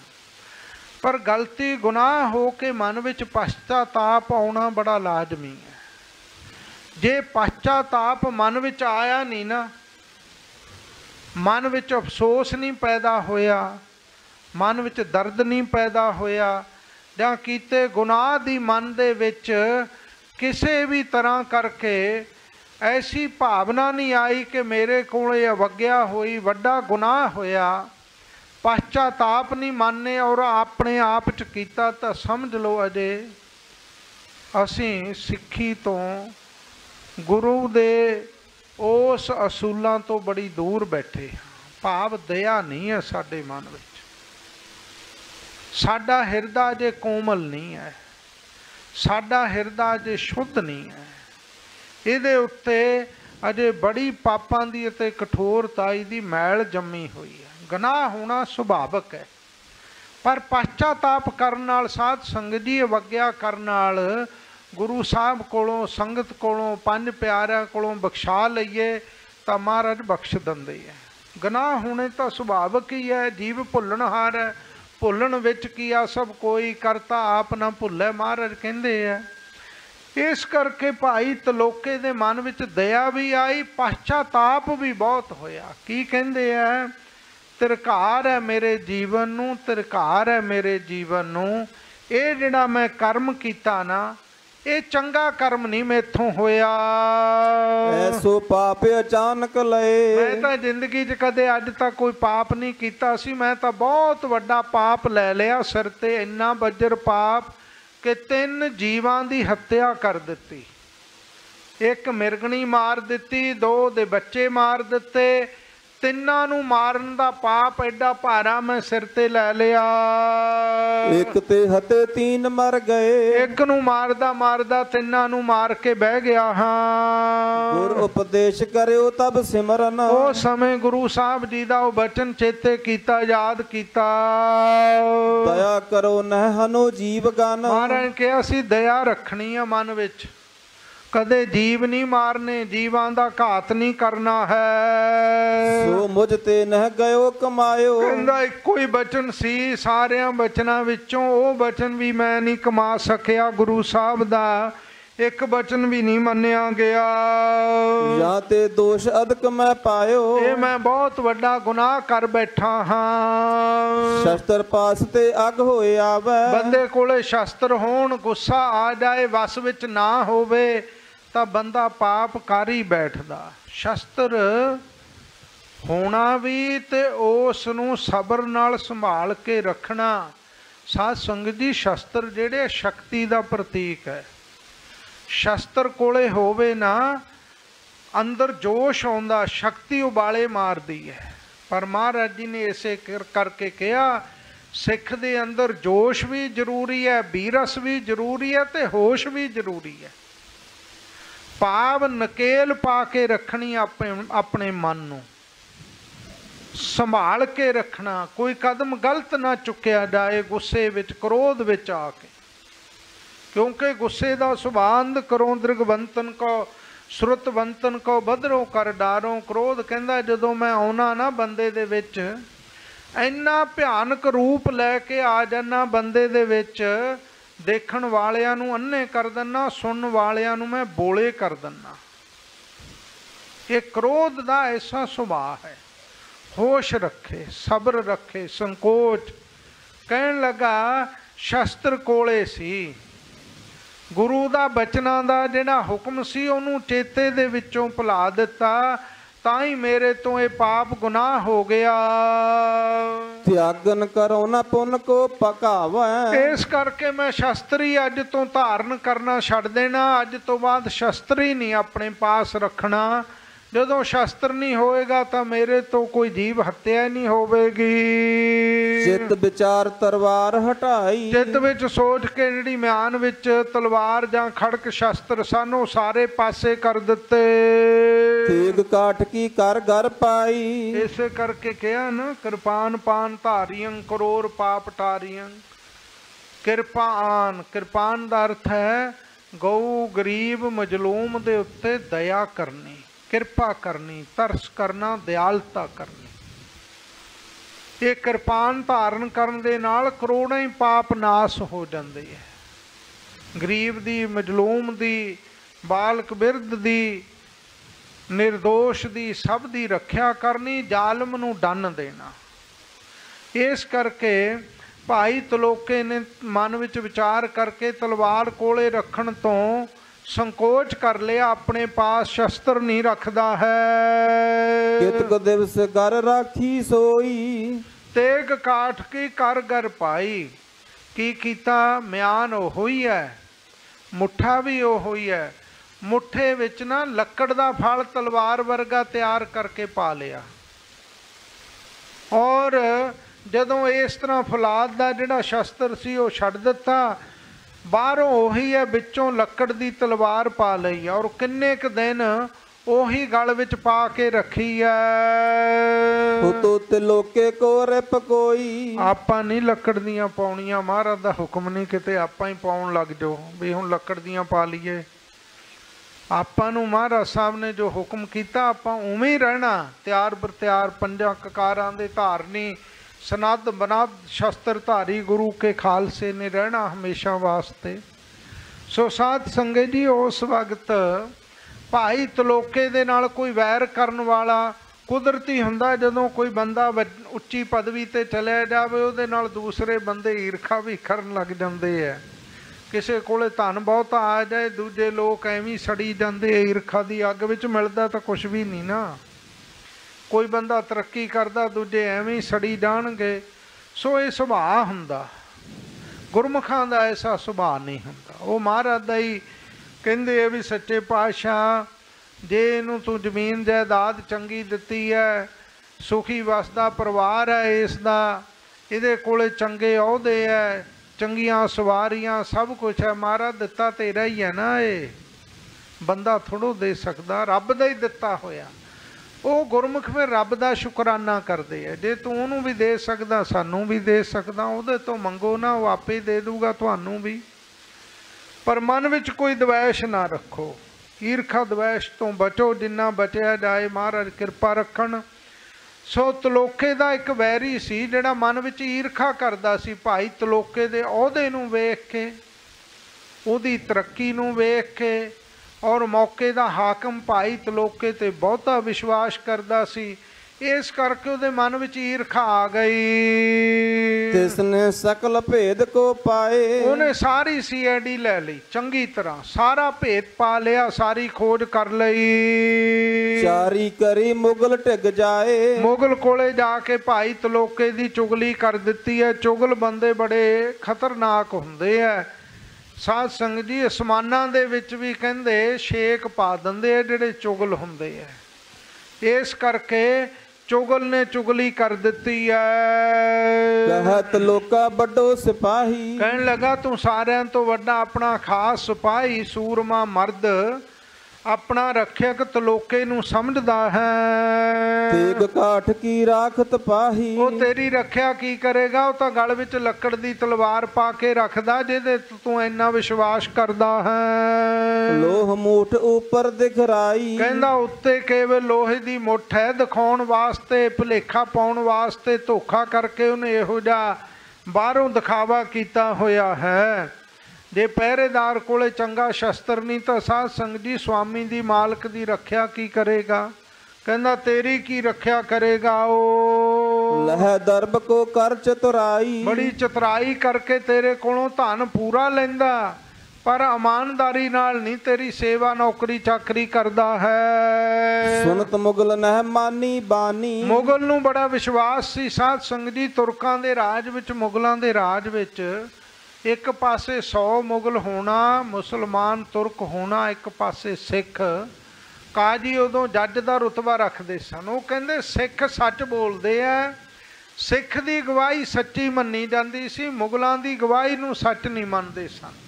ਸਿੱਖਾਂ ਦਾ ਕਿਰਦਾਰ ਇੰਨਾ ਉੱਚਾ ਸੁੱਚਾ ਮੰਨਿਆ ਜਾਂਦਾ ਸੀ। ਬੜਾ ਸਨਮਾਨ ਸੀ। ਮੁਗਲ ਨੇ ਚੁਗਲ ਦੀ ਗੱਲ ਨੂੰ ਨਹੀਂ ਮੰਨਿਆ ਪ੍ਰਵਾਨ ਨਹੀਂ ਕੀਤਾ। ਸੂਰਤ ਲੋਕਾ ਮਹਾ ਗੁਮਾਨੀ। ਕਹਿਣ ਲਗਾ ਮੂਰਖਾ ਭਾਈ ਤਲੋਕਾ ਬੜਾ ਵੱਡਾ ਸੂਰਮਾ। ਗੁਮਾਨੀ ਦਾ ਅਰਥ ਹੁੰਦਾ ਹੰਕਾਰੀ ਪਰ ਹੰਕਾਰੀ ਨਹੀਂ ਇੱਥੇ ਗੁਮਾਨੀ ਦਾ ਅਰਥ ਲੱਗੇਗਾ ਬੜਾ ਅਣਖੀ ਹੈ। ਇਸ ਕਰਕੇ ਭਾਈ ਤਲੋਕਾ ਬੜਾ ਅਣਖੀ ਸੂਰਮਾ ਹੈ ਬਹਾਦਰ ਹੈ। ਮੈਂ ਸਾਦਰ ਰਾਖੋਂ ਦੇ ਧਨ ਕੋ। ਕਹਿੰਦਾ ਮੈਂ ਉਹਦਾ ਸਭ ਤੋਂ ਵੱਧ ਸਨਮਾਨ ਕਰਕੇ ਸਾਰਿਆਂ ਨਾਲੋਂ ਵੱਧ ਧਨ ਦੇ ਕੇ ਤਨਖਾਹ ਦੇ ਕੇ ਆਪਣੇ ਕੋਲੇ ਰੱਖਦਾ ਹਾਂ। ਜਾਨੋ ਕਾਜ ਕਰਹਿ ਬੜ ਰਨ ਕੋ। ਮੈਂ ਜਾਣਦਾ ਜਦੋਂ ਕਿਤੇ ਜੰਗ ਵਿੱਚ ਕੋਈ ਕੰਮ ਪੈਂਦਾ ਮੌਕਾ ਆਉਂਦਾ ਸਭ ਤੋਂ ਵੱਧ ਜੰਗ ਉਹ ਲੜਦਾ ਅੱਗੇ ਹੋ ਕੇ। ਵੱਡਿਆਂ ਵੱਡਿਆਂ ਜੰਗਾਂ ਦੇ ਵਿੱਚੋਂ ਮੈਨੂੰ ਉਸ ਨੇ ਜਿੱਤ ਦਵਾਈ ਹੈ ਫਤਿਹ ਪ੍ਰਾਪਤ ਹੋਈ ਉਸ ਦੇ ਕਾਰਨ। ਪੁਨਹ ਮੁਗਲ ਸੰਗ ਚੁਗਲ ਉਚਾਰੈ। ਫੇਰ ਚੁਗਲ ਨੇ ਮੁਗਲ ਨੂੰ ਫੇਰ ਦੁਬਾਰਾ ਗੱਲ ਸ਼ੁਰੂ ਕਰ ਲਈ। ਚੁਗਲ ਬੰਦੇ ਹਟਦੇ ਨਹੀਂ ਨਾ ਹੁੰਦੇ। ਸੋ ਉਹਨੇ ਕਹਿਣ ਲੱਗਾ ਫੇਰ ਦੁਬਾਰਾ ਗੱਲ ਕੀਤੀ ਉਸ ਦੇ ਕੰਨਾਂ ਵਿੱਚ। ਆਪ ਸਭਾ ਲਾਭੋ ਇੱਕ ਬਾਰ। ਕਹਿੰਦਾ ਜੀ ਮੇਰੇ ਤੇ ਜੇ ਵਿਸ਼ਵਾਸ ਨਹੀਂ ਤਾਂ ਇੱਕ ਵਾਰੀ ਸਭਾ ਲਾ ਲਓ। ਆਪਣਾ ਦਰਬਾਰ ਲਾ ਲਓ ਸਾਰੇ ਸੂਰਮਿਆਂ ਨੂੰ ਬੁਲਾ ਲਓ ਢੰਗ ਦੱਸਣ ਲੱਗ ਪਿਆ ਆਪਣੇ ਕੋਲੋਂ। ਤਦ ਹੈ ਅਚਾਨਕ ਲਿਓ ਨਿਕਸਾਈ। ਜੇ ਮੇਰੇ ਤੇ ਵਿਸ਼ਵਾਸ ਨਹੀਂ ਤਾਂ ਤੁਸੀਂ ਆਪਣੀਆਂ ਅੱਖਾਂ ਨਾਲ ਦੇਖ ਕੇ ਤਾਂ ਵਿਸ਼ਵਾਸ ਕਰੋਗੇ ਨਾ। ਬੰਦਾ ਕਹਿ ਹੀ ਦਿੰਦਾ ਜੇ ਮੇਰੇ ਤੇ ਭਰੋਸਾ ਨਹੀਂ ਤਾਂ ਅੱਖਾਂ ਨਾਲ ਵੇਖ ਲੈ ਤੈਨੂੰ ਪਤਾ ਹੀ ਲੱਗ ਜਾਊਗਾ ਵੀ ਗੱਲ ਮੈਂ ਸੱਚੀ ਕਰਦਾ ਕਿ ਝੂਠੀ ਕਰਦਾ। ਕਹਿੰਦਾ ਦਰਬਾਰ ਲਾ ਲੈ ਦਰਬਾਰ ਵਿੱਚ ਬੁਲਾ ਕੇ ਤਲੋਕੇ ਦੇ ਮਿਆਨ ਵਿੱਚੋਂ ਤਲਵਾਰ ਕਢਾ ਕੇ ਵੇਖ ਲੈ ਤੈਨੂੰ ਪੱਕਾ ਪਤਾ ਲੱਗ ਜਾਏਗਾ ਜੋ ਮੈਂ ਗੱਲ ਕਹੀ ਆ ਉਹ ਸੱਚੀ ਹੈ ਦੇਖੀ ਪਰੈ ਹੋਏ ਜਸ ਪਾਹੀ। ਜਿਹੋ ਜੀ ਪਾਈ ਹੋਏਗੀ ਉਹ ਜੀ ਤੂੰ ਦੇਖ ਲਵੇਂਗਾ ਤੈਨੂੰ ਆਪ ਯਕੀਨ ਆ ਜਾਏਗਾ। ਜੇ ਕਰਤੇਗ ਕਾਠ ਕੀ ਹੋਏ? ਜੇ ਕਰਕੇ ਲੱਕੜ ਦੀ ਤਲਵਾਰ ਹੋਈ ਫਲਾਦ ਦੀ ਨਾ ਹੋਈ। ਦੇਹੋ ਨਾ ਦਰਬ ਬਿਨਉ ਕਰ ਸੋਏ। ਫੇਰ ਜਿਹੜਾ ਤੂੰ ਧਨ ਦੰਨਾ 50 ਰੁਪਏ ਚਾਂਦੀ ਦੇ ਨਾ ਦਈ ਨੌਕਰੀ ਤੋਂ ਬਾਹਰ ਕੱਢ ਦਈ ਨਾ ਰੱਖੀ ਉਸ ਨੂੰ ਨੌਕਰੀ ਤੇ। ਹੋਏ ਜੇ ਲੋਹਾ ਖੜਗ ਪ੍ਰਕਾਸ਼। ਜੇ ਲੋਹਾ ਜੇ ਖੜਗ ਲੋਹੇ ਦਾ ਹੋਇਆ ਐਨ ਤੇਜ ਤਿੱਖਾ ਅਤੇ ਕਰਾਰਾ। ਤਾਂ ਲਿਓ ਦੰਡ ਜੇ ਹੋਏ ਮਮ ਪਾਸ। ਐਨ ਜਿਹਦੀ ਚਮਕ ਵੀ ਜਿਵੇਂ ਬਿਜਲੀ ਚਮਕਦੀ ਐ ਤਲਵਾਰਾਂ ਐਵੇਂ ਨਹੀਂ ਜੰਗਾਲ ਨਾਲ ਭਰੀਆਂ ਹੋਈਆਂ ਖਾਧੀਆਂ ਹੋਈਆਂ ਹੋਣੀਆਂ ਚਾਹੀਦੀਆਂ। ਸ਼ਸਤਰਾਂ ਦੀ ਸੇਵਾ ਭਾਈ ਸ਼ਸਤਰ ਪੀਰ ਹਨ, ਇਹਨਾਂ ਦੀ ਸੇਵਾ ਵੀ, ਇਹਨਾਂ ਦਾ ਸਤਕਾਰ ਵੀ ਬੜੇ ਧਿਆਨ ਨਾਲ ਰੱਖਣਾ। ਸੋ ਇਹ ਅਣਗਹਿਲੀ ਨਹੀਂ ਕਦੇ ਵਾਸਤੇ ਵੀ ਕਰਨੀ। ਗਾਤਰੇ ਵਾਲੀ ਸ੍ਰੀ ਸਾਹਿਬ ਵੀ ਐਨ ਮਾਂਜ ਕੇ ਸਾਫ਼ ਕਰਕੇ ਐਨ ਚੰਗੀ ਤਰ੍ਹਾਂ ਪਵਿੱਤਰਤਾ ਨਾਲ ਉਹਦੀ ਸੰਭਾਲ ਕਰਨੀ ਚਾਹੀਦੀ ਹੈ। ਕਈਆਂ ਦੇ ਇੰਨਾ ਜੰਗਾਲ ਲੱਗਾ ਹੁੰਦਾ ਮਿਆਨ ਚੋਂ ਕਲ ਸ੍ਰੀ ਸਾਹਿਬ ਹੀ ਨਹੀਂ ਨਿਕਲਦੀ, ਦੇਗ ਨੂੰ ਭੋਗ ਲਵਾਉਣ ਲੱਗਿਆ। ਇੰਨੇ ਢਿੱਲੜ ਹੁੰਦੇ ਆ ਕਈ ਬੰਦੇ। ਸੋ ਭਾਈ ਇਹ ਖਿਆਲ ਰੱਖਣਾ।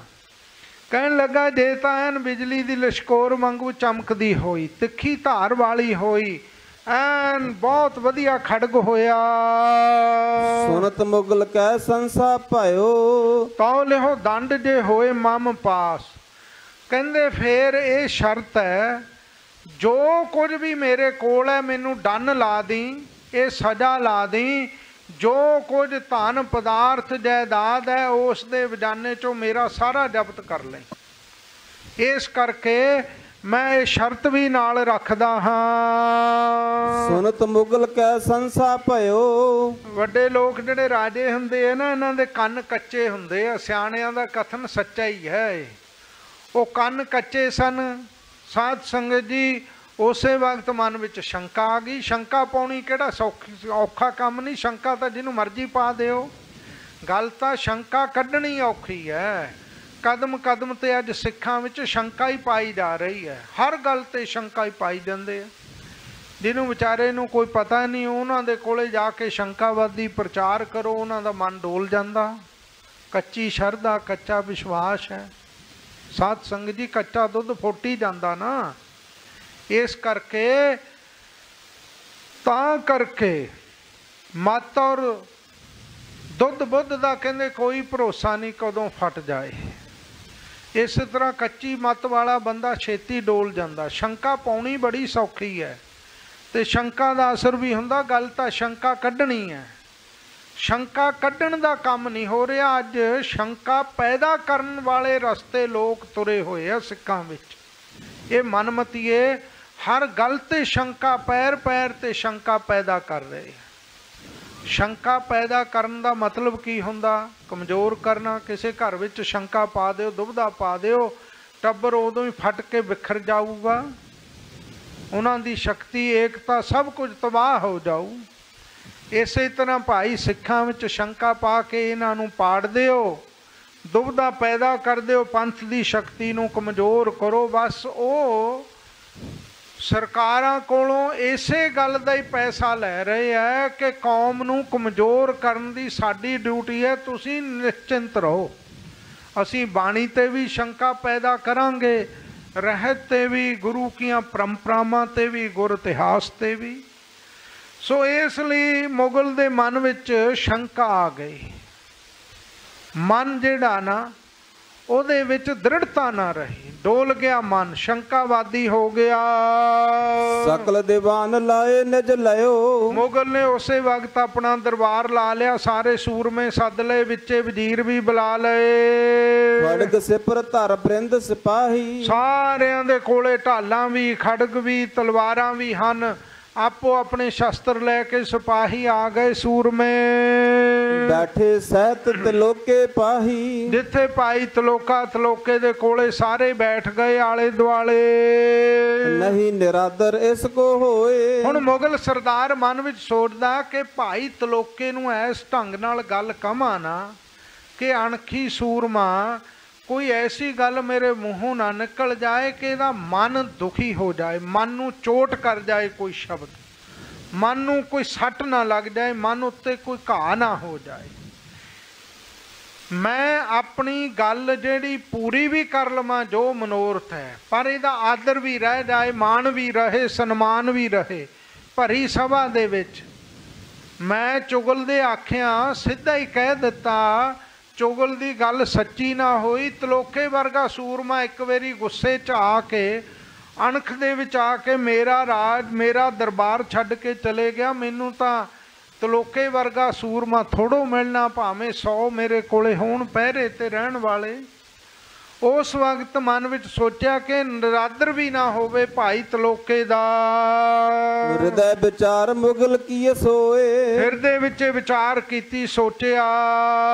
ਪ੍ਰਥਮ ਖੜਗ ਨਿਜ ਖੈਂਚ ਦਿਖਾਇਓ। ਤਰੀਕਾ ਸਿਆਣੇ ਬੰਦੇ ਤਰੀਕੇ ਨਾਲ ਜੁਗਤੀ ਨਾਲ ਬਚਨ ਕਰਦੇ ਆ। ਤਾਂ ਹੀ ਕਹਿੰਦੇ ਸਿਆਣਿਆਂ ਗੁਰਮੁਖਾਂ ਦੀ ਬਜ਼ੁਰਗਾਂ ਦੀ ਸੰਗਤ ਕਰੋ।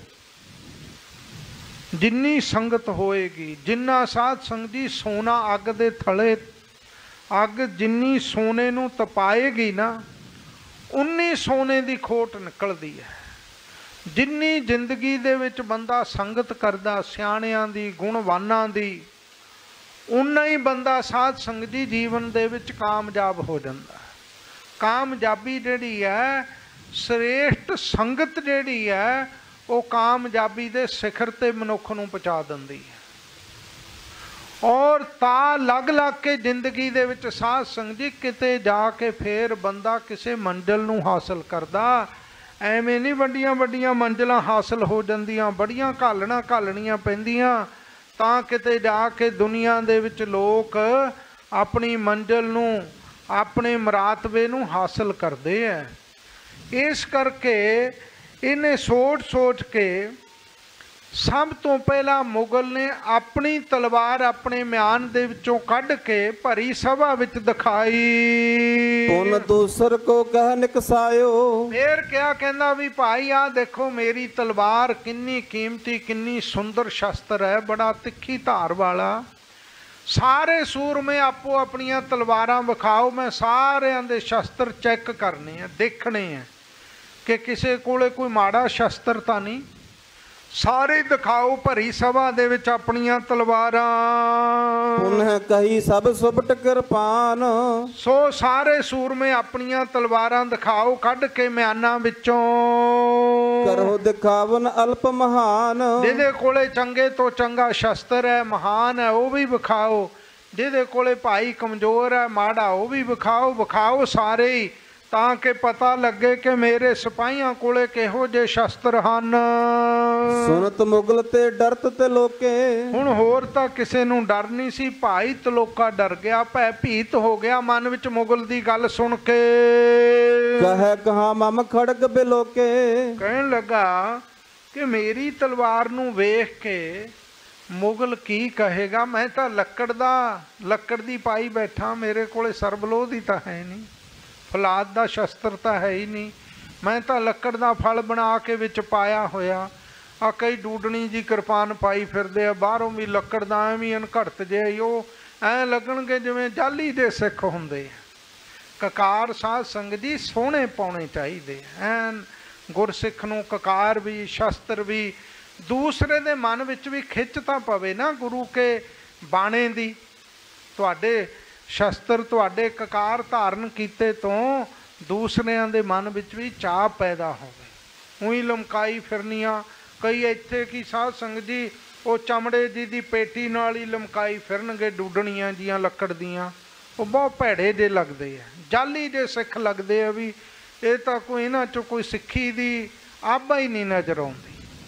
ਅੱਜ ਤਾਂ ਬੜੀਆਂ ਸੁੰਦਰ ਸੁੰਦਰ ਸ੍ਰੀ ਸਾਹਿਬਾਂ ਸਾਨੂੰ ਮਿਲਦੀਆਂ ਤੇ ਕੋਈ ਮਾਇਆ ਦੀ ਵੀ ਹੁਣ ਕਮੀ ਨਹੀਂ ਹੈ। ਧੰਨ ਬਾਬਾ ਮਹਾਰਾਜ ਸਿੰਘ ਸਾਹਿਬ ਜੀ ਦਾ ਤੁਸੀਂ ਚਿੱਤਰ ਦੇਖੋ, ਜਿਹੜਾ ਉਹਨਾਂ ਦਾ ਅਸਲੀ ਚਿੱਤਰ ਹੈ। ਸਾਧ ਸੰਗਤ ਜੀ, ਉਹਨਾਂ ਦੇ ਖਜ਼ਾਨੇ, ਪੋਥੀਆਂ ਵਾਲਾ ਖਜ਼ਾਨਾ ਤੇ ਬਹੁਤ ਸੁੰਦਰ, ਬੜੀ ਬਰੀਕੀ ਨਾਲ ਦਰਸ਼ਨ ਹੁੰਦੇ ਆ ਉਹਨਾਂ ਦੇ ਚਿੱਤਰ ਵਿੱਚੋਂ। ਉਹਨਾਂ ਦਾ ਜਿਹੜਾ ਸ੍ਰੀ ਸਾਹਿਬ ਦਾ ਆ ਅਗਲਾ ਹਿੱਸਾ ਬਹੁਤ ਸੁੰਦਰ ਉਸ ਨੂੰ ਤਿਆਰ ਕੀਤਾ ਹੋਇਆ, ਉਹਦੇ ਦਰਸ਼ਨ ਹੁੰਦੇ ਆ। ਮਿਆਨ ਦੇ ਵਿੱਚ ਸ੍ਰੀ ਸਾਹਿਬ, ਲੱਕੜ ਦਾ ਮਿਆਨ ਹੈ। ਮੇਰਾ ਖਿਆਲ ਹੈ 12 13 ਇੰਚ ਦੀ ਸ੍ਰੀ ਸਾਹਿਬ ਉਹਨਾਂ ਦੇ ਗਾਤਰੇ ਹੋਏ। ਤਾਂ ਮੈਂ ਗੱਲ ਕੀਤੀ ਹੈ ਵੀ ਇਹ ਜਿਹੜੇ ਕਈ ਲੋਕ ਕਹਿ ਦਿੰਦੇ ਆ, ਜੀ ਪਹਿਲਾਂ ਤਾਂ ਗਾਤਰੇ ਸ੍ਰੀ ਸਾਹਿਬ ਅਖੇ ਪਾਉਂਦੇ ਹੀ ਨਹੀਂ ਹੁੰਦੇ ਸੀ। ਬਾਬਾ ਮਹਾਰਾਜ ਸਿੰਘ ਸਾਹਿਬ ਜੀ ਦੇ ਗਾਤਰੇ ਸ੍ਰੀ ਸਾਹਿਬ ਦੇਖੋ। ਵੱਡੀ ਤੇਗ ਵੀ ਔਰ ਗਾਤਰੇ ਪੰਜਾਂ ਕਕਾਰਾਂ ਦਾ ਸ੍ਰੀ ਸਾਹਿਬ ਵੀ। ਬਹੁਤ ਸੁੰਦਰ 12 13 ਇੰਚ ਦਾ ਉਹਨਾਂ ਦੇ ਮਹਾਪੁਰਖਾਂ ਦੇ ਪਾਇਆ। ਤੁਹਾਨੂੰ ਦਰਸ਼ਨ ਹੋਣਗੇ ਬਰੀਕੀ ਨਾਲ। ਆਹ ਪਰਸੋਂ ਚੌਥੇ ਦੇ ਟ੍ਰਿਬਿਊਨ ਵਿੱਚ ਉਹਨਾਂ ਦੀ ਤਸਵੀਰ, ਅਸਲੀ ਤਸਵੀਰ ਲੱਗੀ ਹੋਈ ਸੀ। ਬੜਾ ਗੁਰਮੁਖੀ ਦਮਾਲਾ ਸਫੇਦ ਰੰਗ ਦਾ, ਹੱਥ ਵਿੱਚ ਸਲੋਤਰ ਫੜਿਆ। ਬੜੀ ਮੌਜ ਵਿੱਚ, ਆਨੰਦ ਵਿੱਚ ਮਹਾਪੁਰਖ ਬੈਠੇ ਆ। ਬੜੀ ਵੱਡੀ ਕੁਰਬਾਨੀ ਉਹਨਾਂ ਸਤਪੁਰਸ਼ਾਂ ਦੀ। ਧੰਨ ਬਾਬਾ ਮਹਾਰਾਜ ਸਿੰਘ ਜੀ ਜਿਨ੍ਹਾਂ ਨੇ ਹਿੰਦੁਸਤਾਨ ਦੀ ਆਜ਼ਾਦੀ ਦਾ ਮੁੱਢ ਬੰਨਣ ਵਿੱਚ ਉਹਨਾਂ ਦੀ ਕੁਰਬਾਨੀ ਪਹਿਲੇ ਦਰਜੇ ਦੀ ਹੈ। ਸੋ ਸਾਧ ਸੰਗਤ ਜੀ ਉਸ ਵਕਤ ਭਾਈ ਤਲੋਕਾ ਸੋਚਦਾ ਕਿ ਮੇਰੀ ਲੱਕੜ ਦੀ ਤਲਵਾਰ ਵੇਖ ਕੇ ਕੀ ਕਹੇਗਾ ਮੁਗਲ। ਤਬ ਸਤਗੁਰ ਔਰ ਸਿਮਰਨ ਕਰੇ। ਜਿੱਥੇ ਸਿੱਖ ਨੂੰ ਕੋਈ ਸੰਕਟ ਆਉਂਦਾ ਨਾ ਸ਼ਰਧਾਵਾਨ ਸਿੱਖ ਫਿਰ ਆਪਣੇ ਸਤਿਗੁਰੂ ਨੂੰ ਚੇਤੇ ਕਰਦਾ। ਹੋਰ ਨਹੀਂ ਕਿਸੇ ਦੀ ਓਟ ਲੈਂਦਾ, ਕਿਸੇ ਕੋਈ ਕੋਏ ਮੰਝ ਨਮਾਣੀ ਇੱਕ ਤੋਂ। ਸੰਤ ਬਾਬਾ ਜਰਨੈਲ ਸਿੰਘ ਜੀ ਖਾਲਸਾ ਪਿੰਡਰਾਂ ਵਾਲੇ, ਜਦੋਂ ਸਾਧ ਸੰਗਤ ਜੀ ਨਰਕ ਧਾਰੀਆਂ ਨੇ 13 ਸਿੰਘ ਸ਼ਹੀਦ ਕਰ ਦਿੱਤੇ ਔਰ ਪੰਥ ਵਿੱਚੋਂ ਸਾਡੇ ਭਰਾ ਹੀ ਉਹਨਾਂ ਦੇ ਮਗਰ ਹੱਥ ਧੋ ਕੇ ਪੈ ਗਏ। ਉਦੋਂ ਜਥੇ ਦੇ ਸਿੰਘਾਂ ਨੇ ਕਈ ਵਾਰੀ ਬੜਾ ਨਿਰਾਸ਼ ਹੋ ਜਾਣਾ। ਤੇ ਮਹਾਪੁਰਖਾਂ ਨੇ ਬੜੇ ਉਤਸ਼ਾਹ ਵਿੱਚ ਇਹ ਧਾਰਨਾ ਪੜਾਇਆ ਕਰਨੀ, ਸਾਡਾ ਤੇ ਨਿਮਾਣਿਆਂ ਦਾ ਤੂੰ ਹੀ ਹੈ ਹੋਰ ਕੋਈ ਆਸਰਾ ਨਹੀਂ। ਆਪਾਂ ਪੜ੍ਹ ਲਈਏ ਪ੍ਰੇਮ ਨਾਲ ਸਾਰੇ ਇੱਕ ਵਾਰੀ। ਸਾਡਾ ਤੇ ਨਿਮਾਣਿਆਂ ਦਾ ਤੂੰ ਹੀ ਹੈ ਹੋਰ ਕੋਈ ਆਸਰਾ ਨਹੀਂ। ਸਾਡਾ ਤੇ ਨਿਮਾਣਿਆਂ ਦਾ ਤੂੰ ਹੀ ਹੈ ਹੋਰ ਕੋਈ ਆਸਰਾ ਨਹੀਂ। ਸਾਡਾ ਤੇ ਨਿਮਾਣਿਆਂ ਦਾ ਤੂੰ ਹੀ ਹੈ ਹੋਰ ਕੋਈ ਆਸਰਾ ਨਹੀਂ। ਸਾਡਾ ਤੇ ਨਿਮਾਣਿਆਂ ਦਾ ਤੂੰ ਹੀ ਹੈ ਹੋਰ ਕੋਈ ਆਸਰਾ ਨਹੀਂ।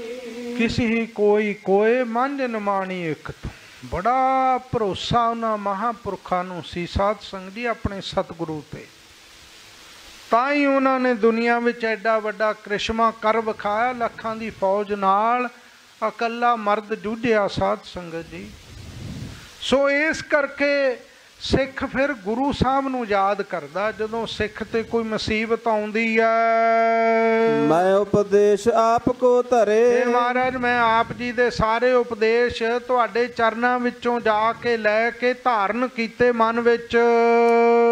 ਰਹੋ ਅਹਿੰਸ ਤਜੀ ਤਰਵਾਰ ਮੈਂ ਤਾਂ ਮਹਾਰਾਜ ਕਿ ਮੇਰੇ ਤੋਂ ਜੀਵ ਹੱਤਿਆ ਨਾ ਹੋ ਜਾਏ।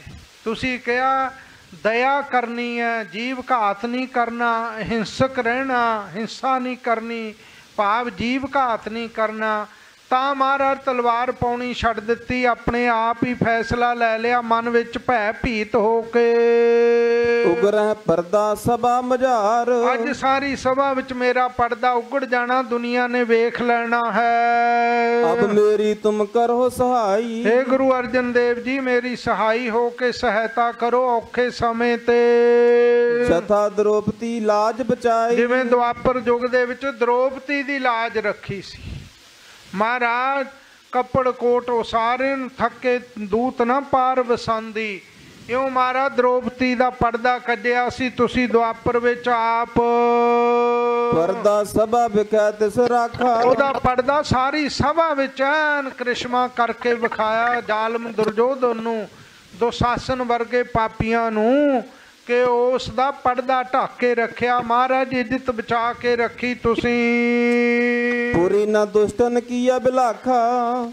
ਦੁਸ਼ਾਸਨ ਤੇ ਦੁਰਜੋਧਨ ਇੰਨੇ ਪਾਪ ਦੇ ਉੱਤੇ ਆਣ ਉਤਾਰੂ ਹੋਏ ਸਨ। ਸਾਧ ਸੰਗਤ ਜੀ ਭਰਾਵਾਂ ਦੀ ਘਰ ਵਾਲੀ ਸੀ ਵੇਖ ਲਓ। ਪਰ ਬੰਦੇ ਦੇ ਅੰਦਰ ਜਦੋਂ ਨਾ ਦੁਸ਼ਟਤਾਈ ਆਉਂਦੀ ਹੈ ਕਿੱਥੇ ਤੱਕ ਗਿਰ ਜਾਂਦਾ ਬੰਦਾ? ਕਹਿੰਦਾ ਮਾਵਾਂ ਦੇ ਤੁੱਲ ਲੱਗਦੀ ਸੀ, ਮਾਵਾਂ ਦੇ ਤੁੱਲ। ਵੱਡੇ ਭਰਾ ਦੀ ਧਰਮ ਸੁਪਤਨੀ ਮਾਂ ਦੇ ਤੁੱਲ ਹੁੰਦੀ ਹੈ। ਦੁਰਜੋਧਨ ਨੇ ਆਰਡਰ ਹੁਕਮ ਕਰ ਦਿੱਤਾ ਕਿ ਦੁਸ਼ਾਸਨ ਜਾ ਕੇ ਦ੍ਰੋਪਦੀ ਨੂੰ ਵਾਲਾਂ ਤੋਂ ਫੜ ਕੇ ਧੂ ਕੇ ਲਿਆ, ਭਰੀ ਸਭਾ ਵਿੱਚ ਦੇ ਵਸਤਰ ਲਾ ਕੇ ਨੰਗੀ ਕਰ ਦੋ। ਐਡਾ ਵੱਡਾ ਜ਼ੁਲਮ, ਐਡਾ ਵੱਡਾ ਸਾਧ ਸੰਗੀ ਅਤਿਆਚਾਰ ਕਦੇ ਉਹ ਦਰੋਣਾਚਾਰਜ ਵੱਲ ਦੇਖਦੀ ਹੈ। ਜਿਹੜਾ ਸ਼ਸਤਰ ਵਿਦਿਆ ਦਾ ਗੁਰੂ ਸੀ, ਅਬਲਾ ਵਿਚਾਰੀ, ਕਦੇ ਕਿਰਪਾਚਾਰੀਆ ਕੁਲ ਗੁਰੂ ਵੱਲ ਵੇਖਦੀ ਹੈ, ਕਦੇ ਸਹੁਰੇ ਵੱਲ, ਧਰਿਤਰਾਸ਼ਟਰ ਵੱਲ ਦੇਖਦੀ ਹੈ, ਕਦੇ ਪਾਂਡਵਾਂ ਵੱਲ ਦੇਖਦੀ ਹੈ, ਕਦੇ ਪੜਦਾਦਾ, ਪੜਦਾਦਿਆਂ ਦੀ ਥਾਂ ਤੇ ਭੀਸ਼ਮ ਪਤਾਮਾ ਉਹਦੇ ਵੱਲ ਵੇਖਦੀ ਹੈ ਕਿ ਐਡੇ ਐਡੇ ਸਿਆਣੇ ਬਜ਼ੁਰਗ, ਐਡੇ ਐਡੇ ਮਹਾਤਮਾ ਬੈਠੇ ਆ, ਕੋਈ ਤਾਂ ਰੋਕੇਗਾ ਨਾ। ਕੋਈ ਨਹੀਂ ਉੱਠਿਆ। ਹੱਥ ਜੋੜ ਲਏ। ਅਰਦਾਸ ਕੀਤੀ, ਸੱਚੇ ਪਾਤਸ਼ਾਹ, ਨਾ ਇਸਤਰੀ ਦਾ ਪਤੀ ਰਖਵਾਲਾ, ਨਾ ਪਤੀ ਉਹਦੀ ਇੱਜ਼ਤ ਦਾ ਭਾਈਵਾਲ ਹੈ। हे ਸੱਚੇ ਪਾਤਸ਼ਾਹ, ਅੱਜ ਪਤੀ ਵੀ ਮੇਰੀ ਇੱਜ਼ਤ ਬਚਾਉਣ ਲਈ ਅੱਗੇ ਨਹੀਂ ਆ ਰਹੇ। ਇਸ ਧਰਤੀ ਦਾ ਕੋਈ ਮਨੁੱਖ ਨਹੀਂ ਜਿਹੜਾ ਮੇਰੀ ਰੱਖਿਆ, ਮੇਰੀ ਪਤ ਬਚਾਏਗਾ। हे ਪਰਮਾਤਮਾ, ਤੂੰ ਮੇਰੀ ਸਹਾਇਤਾ ਕਰ। ਜਦੋਂ ਇੱਥੇ ਗੱਲ ਪਹੁੰਚ ਜਾਏ ਨਾ, ਸਿਦਕ ਦੀ ਫੇਰ ਹੀ ਰੱਬ ਸਹਾਇਤਾ ਕਰਦਾ। ਸਾਧ ਸੰਗ ਜੀ ਐਵੇਂ ਵੀ ਨਹੀਂ ਕਰਦਾ ਉਹ। ਉਹ ਦੇਖਦਾ ਵੀ ਤੂੰ ਲਾ ਲੈ ਜ਼ੋਰ ਆਪਣਾ ਜਿੰਨਾ ਕਿ ਤੇਰੇ ਕੋਲੋਂ ਲੱਗਦਾ। ਜਦੋਂ ਤੇਰਾ ਸਾਰਾ ਜ਼ੋਰ ਲੱਗ ਕੇ ਹੰਬ ਹਾਰ ਕੇ ਥੱਕ ਗਿਆ, ਫੇਰ ਮੈਂ ਤੇਰੀ ਮਦਦ ਕਰੂੰਗਾ। ਤੇਰੇ ਮਨ ਵਿੱਚ ਕੋਈ ਸ਼ੰਕਾ ਨਾ ਰਹੇ ਜੇ ਵੀ ਫਲਾਣੇ ਨੇ ਮੇਰੀ ਮਦਦ ਕਰ ਦੇਣੀ ਸੀ, ਤੈਨੂੰ ਭਰੋਸਾ ਦਿਵਾਉਣ ਲਈ। ਪਰਮੇਸ਼ਰ ਨੇ ਕਹਿੰਦੇ ਫੇਰ ਦ੍ਰੋਪਦੀ ਦੀ ਪੱਤ ਢਕੀ ਔਰ ਦੁਸ਼ਟਾਂ ਦੀ ਜੋ ਮਨ ਭਾਉਂਦੀ ਇੱਛਾ ਸੀ ਪਾਪ ਕਰਮ ਵਾਲੀ ਉਹ ਪੂਰੀ ਨਹੀਂ ਹੋਈ। ਤਿਮ ਮੇਰੀ ਅਬ ਲਾਜ ਰਖੀਜੈ ਇਹ ਗੁਰੂ ਅਰਜਨ ਦੇਵ ਜੀ ਦੁਸ਼ਟਾਂ ਦੀ ਸਭਾ ਵਿੱਚ ਮੈਂ ਵੀ ਘਿਰ ਗਿਆ ਮੇਰੀ ਵੀ ਲੱਜਿਆ ਰੱਖੋ। ਸਭਾ ਵਿਖੈ ਕਰ ਖੜਕ ਦਖੀਜੈ। ਹੈ ਲੱਕੜ ਦੀ ਹੈ हे ਗੁਰੂ ਅਰਜਨ ਦੇਵ ਜੀ ਮੈਂ ਝੂਠ ਨਹੀਂ ਬੋਲਦਾ। ਜਿਨ੍ਹਾਂ ਦਾ ਮਨ ਗੁਰੂ ਦੇ ਚਰਨਾਂ 'ਚ ਲਵਲੀਨ ਹੋ ਜਾਂਦਾ, ਆਪਣੇ ਪਰਮੇਸ਼ਰ ਨਾਲੋਂ ਐ ਗੱਲਾਂ ਕਰਦੇ ਜਿਵੇਂ ਆਪਾਂ ਕਰਦੇ ਆ ਇੱਕ ਦੂਸਰੇ ਨਾਲ। ਉਹ ਐ ਬਚਨ ਕਰ ਰਿਹਾ ਅੰਦਰੋਂ ਸੁਰਤ ਨਾਲ ਗੁਰੂ ਅਰਜਨ ਦੇਵ ਜੀ ਨਾਲ। ਬੇਨਤੀ ਵਿੱਚ, ਅਰਦਾਸ ਵਿੱਚ। ਅਰਦਾਸ ਦਾ ਮਤਲਬ ਹੈ ਆਪਣੇ ਗੁਰੂ ਸਾਹਿਬ ਨਾਲ ਬਚਨ ਕਰਨੇ ਸਿੱਖ ਨੇ। ਅਰਦਾਸ ਭਗਤੀ ਦਾ ਸਾਧ ਸੰਗ ਜੀ ਕੋਈ ਤੋੜ ਨਹੀਂ ਸ੍ਰਿਸ਼ਟੀ ਦੇ ਵਿੱਚ। ਜਿੰਨੀ ਤਪ, ਤਿਆਗ, ਸਾਧਨਾ, ਜਪ ਤਪ, ਸਭ ਤੋਂ ਸ਼੍ਰੋਮਣੀ ਅਰਦਾਸ ਸਾਧਨ ਹੈ। ਵਾਹਿਗੁਰੂ ਦੇ ਬਹੁਤ ਨੇੜੇ ਲਿਜਾਣ ਦਾ ਸਾਧਨ ਅਰਦਾਸ ਭਗਤੀ ਹੈ। ਇਸ ਕਰਕੇ ਅਰਦਾਸ ਕੀਤੀ ਮਹਾਰਾਜ ਮੇਰੀ ਲੱਜਿਆ ਰੱਖੋ ਮੇਰੀ ਵੀ ਪੱਤ ਢੋਕੋ ਉਵੇਂ। ਨਾਹੇ ਤਾਂ ਹੀਰਾ ਕਾਟ ਕਿਰਪਾਨ। ਇਹ ਲੱਕੜ ਦੀ ਤਲਵਾਰ ਨੂੰ ਅੱਜ ਫੌਲਾਦ ਦਾ ਸ਼ਸਤਰ ਬਣਾ ਦਿਓ। ਜੇ ਨਾ ਬਣਾਇਆ ਤਾਂ ਲੱਕੜ ਦੀ ਤਲਵਾਰ ਵੇਖ ਕੇ। ਕਰਹਿ ਮੁਗਲ ਮੇਰੀ ਤਬਹਾਨ। ਇਹ ਮੁਗਲ ਮੇਰੀ ਹਾਨੀ ਵੀ ਕਰ ਸਕਦਾ ਮਹਾਰਾਜ ਇਸ ਗੁਨਾਹ ਦੇ ਬਦਲੇ ਮੈਨੂੰ ਮਾਰ ਵੀ ਸਕਦਾ।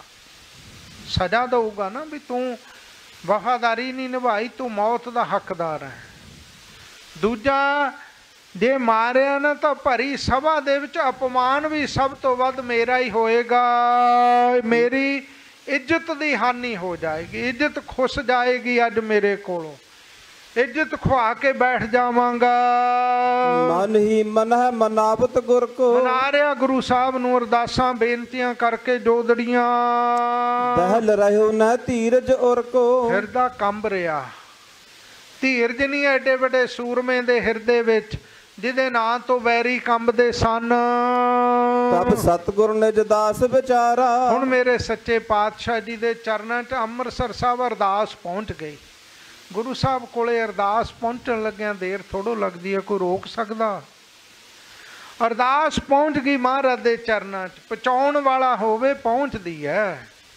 ਐਵੇਂ ਨਹੀਂ ਕਿਹਾ ਬਿਰਥੀ ਕਦੇ ਨਾ ਹੋਵੇ ਜਨ ਕੀ ਅਰਦਾਸ। ਜਨ ਬਣ ਕੇ ਅਰਦਾਸ ਹੀ ਨਹੀਂ ਹੁੰਦੀ, ਪੂਰੀ ਕਿੱਥੋਂ ਹੋਵੇ? ਬਣ ਜਾਏ ਤਾਂ ਭਾਈ ਤਲੋਕੇ ਮੰਗੂ ਪਹੁੰਚ ਵੀ ਜਾਂਦੀ ਹੈ।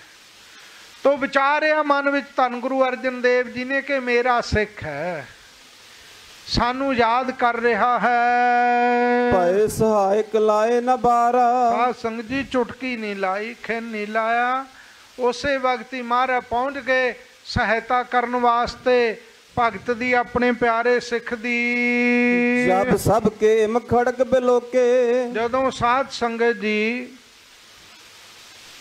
ਉਹ ਨਾ ਕੱਲੇ ਕੱਲੇ ਦੀ ਤਲਵਾਰ ਵੇਖੀ ਜਾਂਦਾ ਕੋਲੇ ਸੱਦ ਕੇ।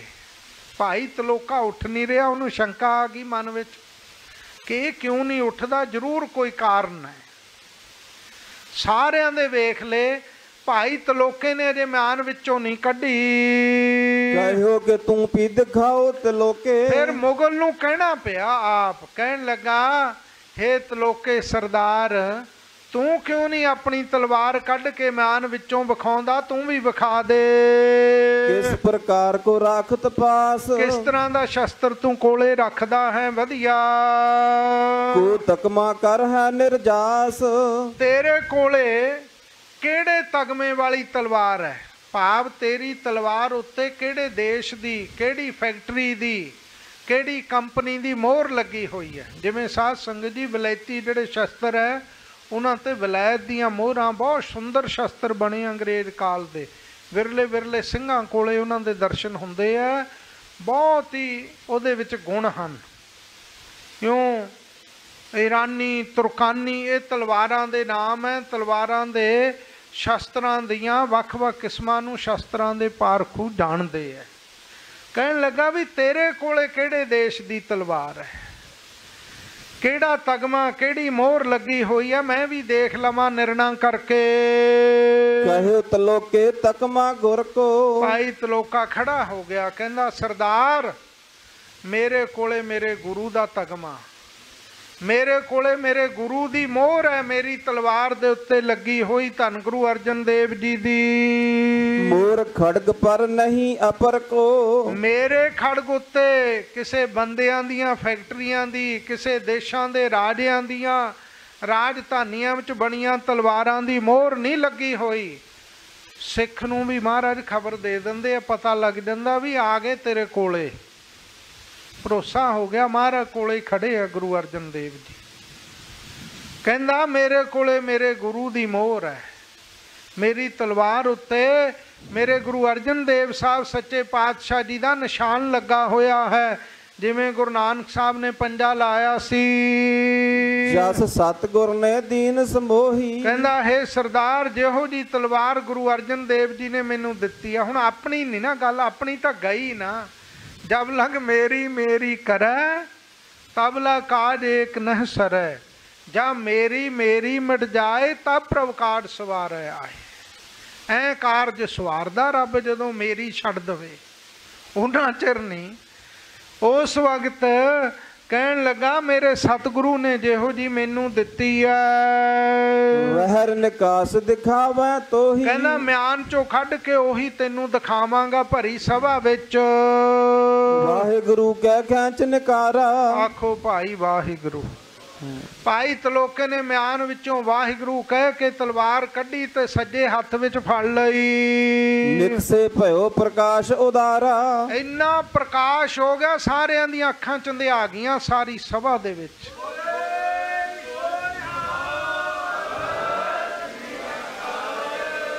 ਇਹ ਗੁਰੂ ਦੀ ਕਲਾ ਗੁਰੂ ਦੀ ਇਹਨੂੰ ਕਹਿੰਦੇ ਗੁਰੂ ਦੀ ਸ਼ਕਤੀ ਵਰਤਦੀ ਆ। ਉਹ ਮੂਰਖੋ ਅੱਜ ਗੁਰੂ ਦੀ ਸ਼ਕਤੀ ਤੇ ਵੀ ਅਟੈਕ ਕਰ ਰਹੇ ਆ ਸ਼ੰਕਾਵਾਦੀ।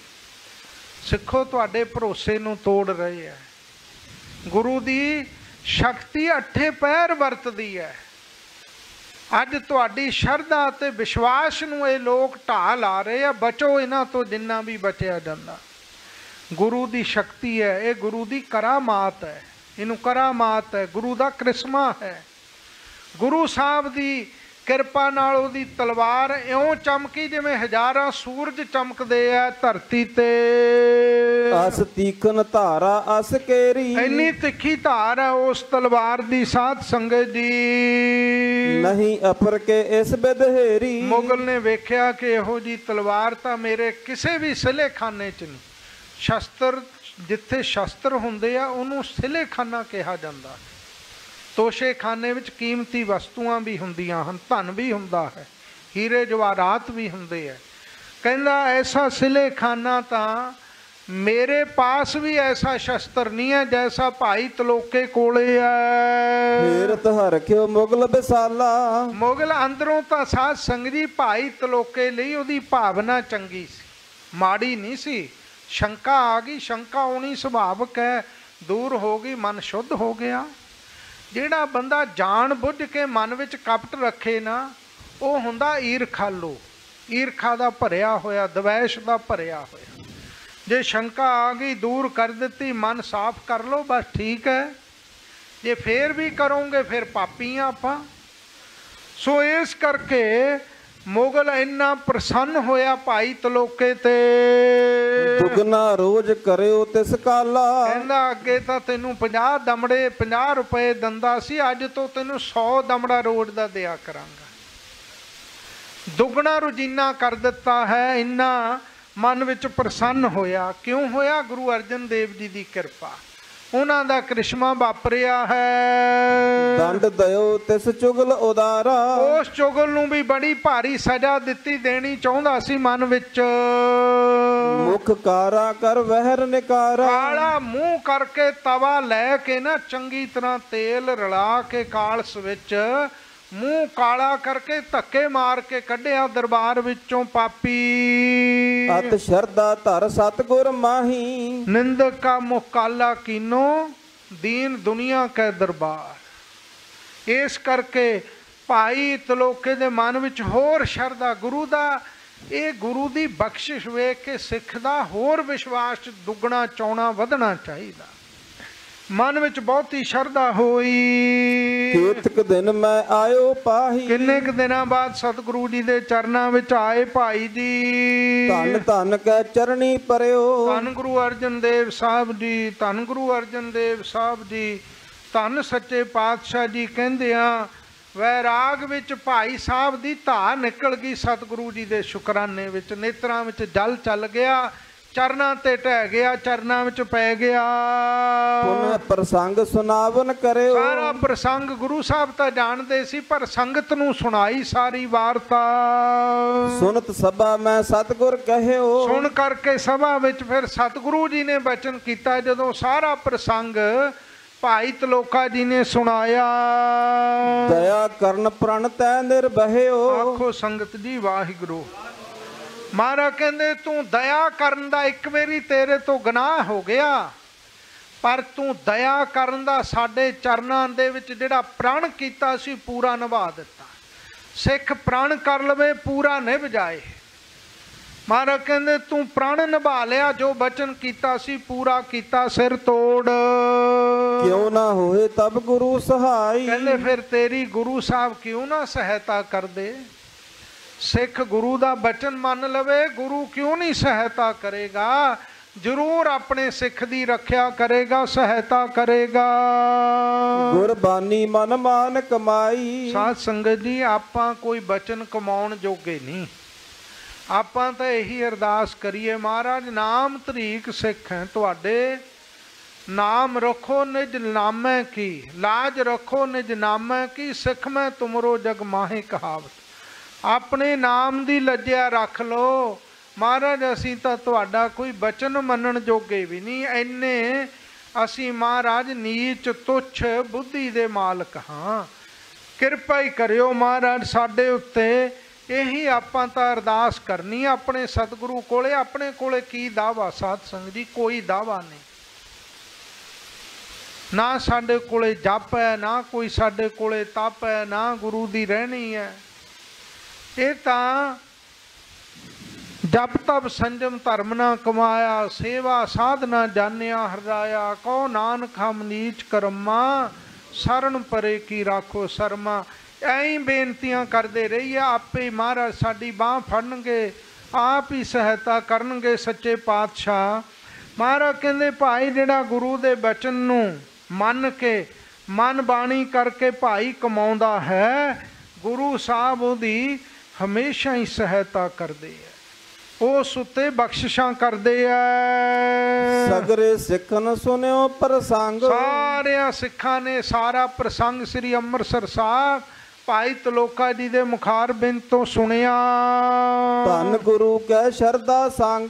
ਸਾਰੇ ਨੇ ਸ਼ਰਧਾ ਨਾਲ ਇੱਕੋ ਵਾਰੀ ਝੋਕੇ ਹਜ਼ਾਰਾਂ ਹੀ ਸੰਗਤਾਂ ਨੇ।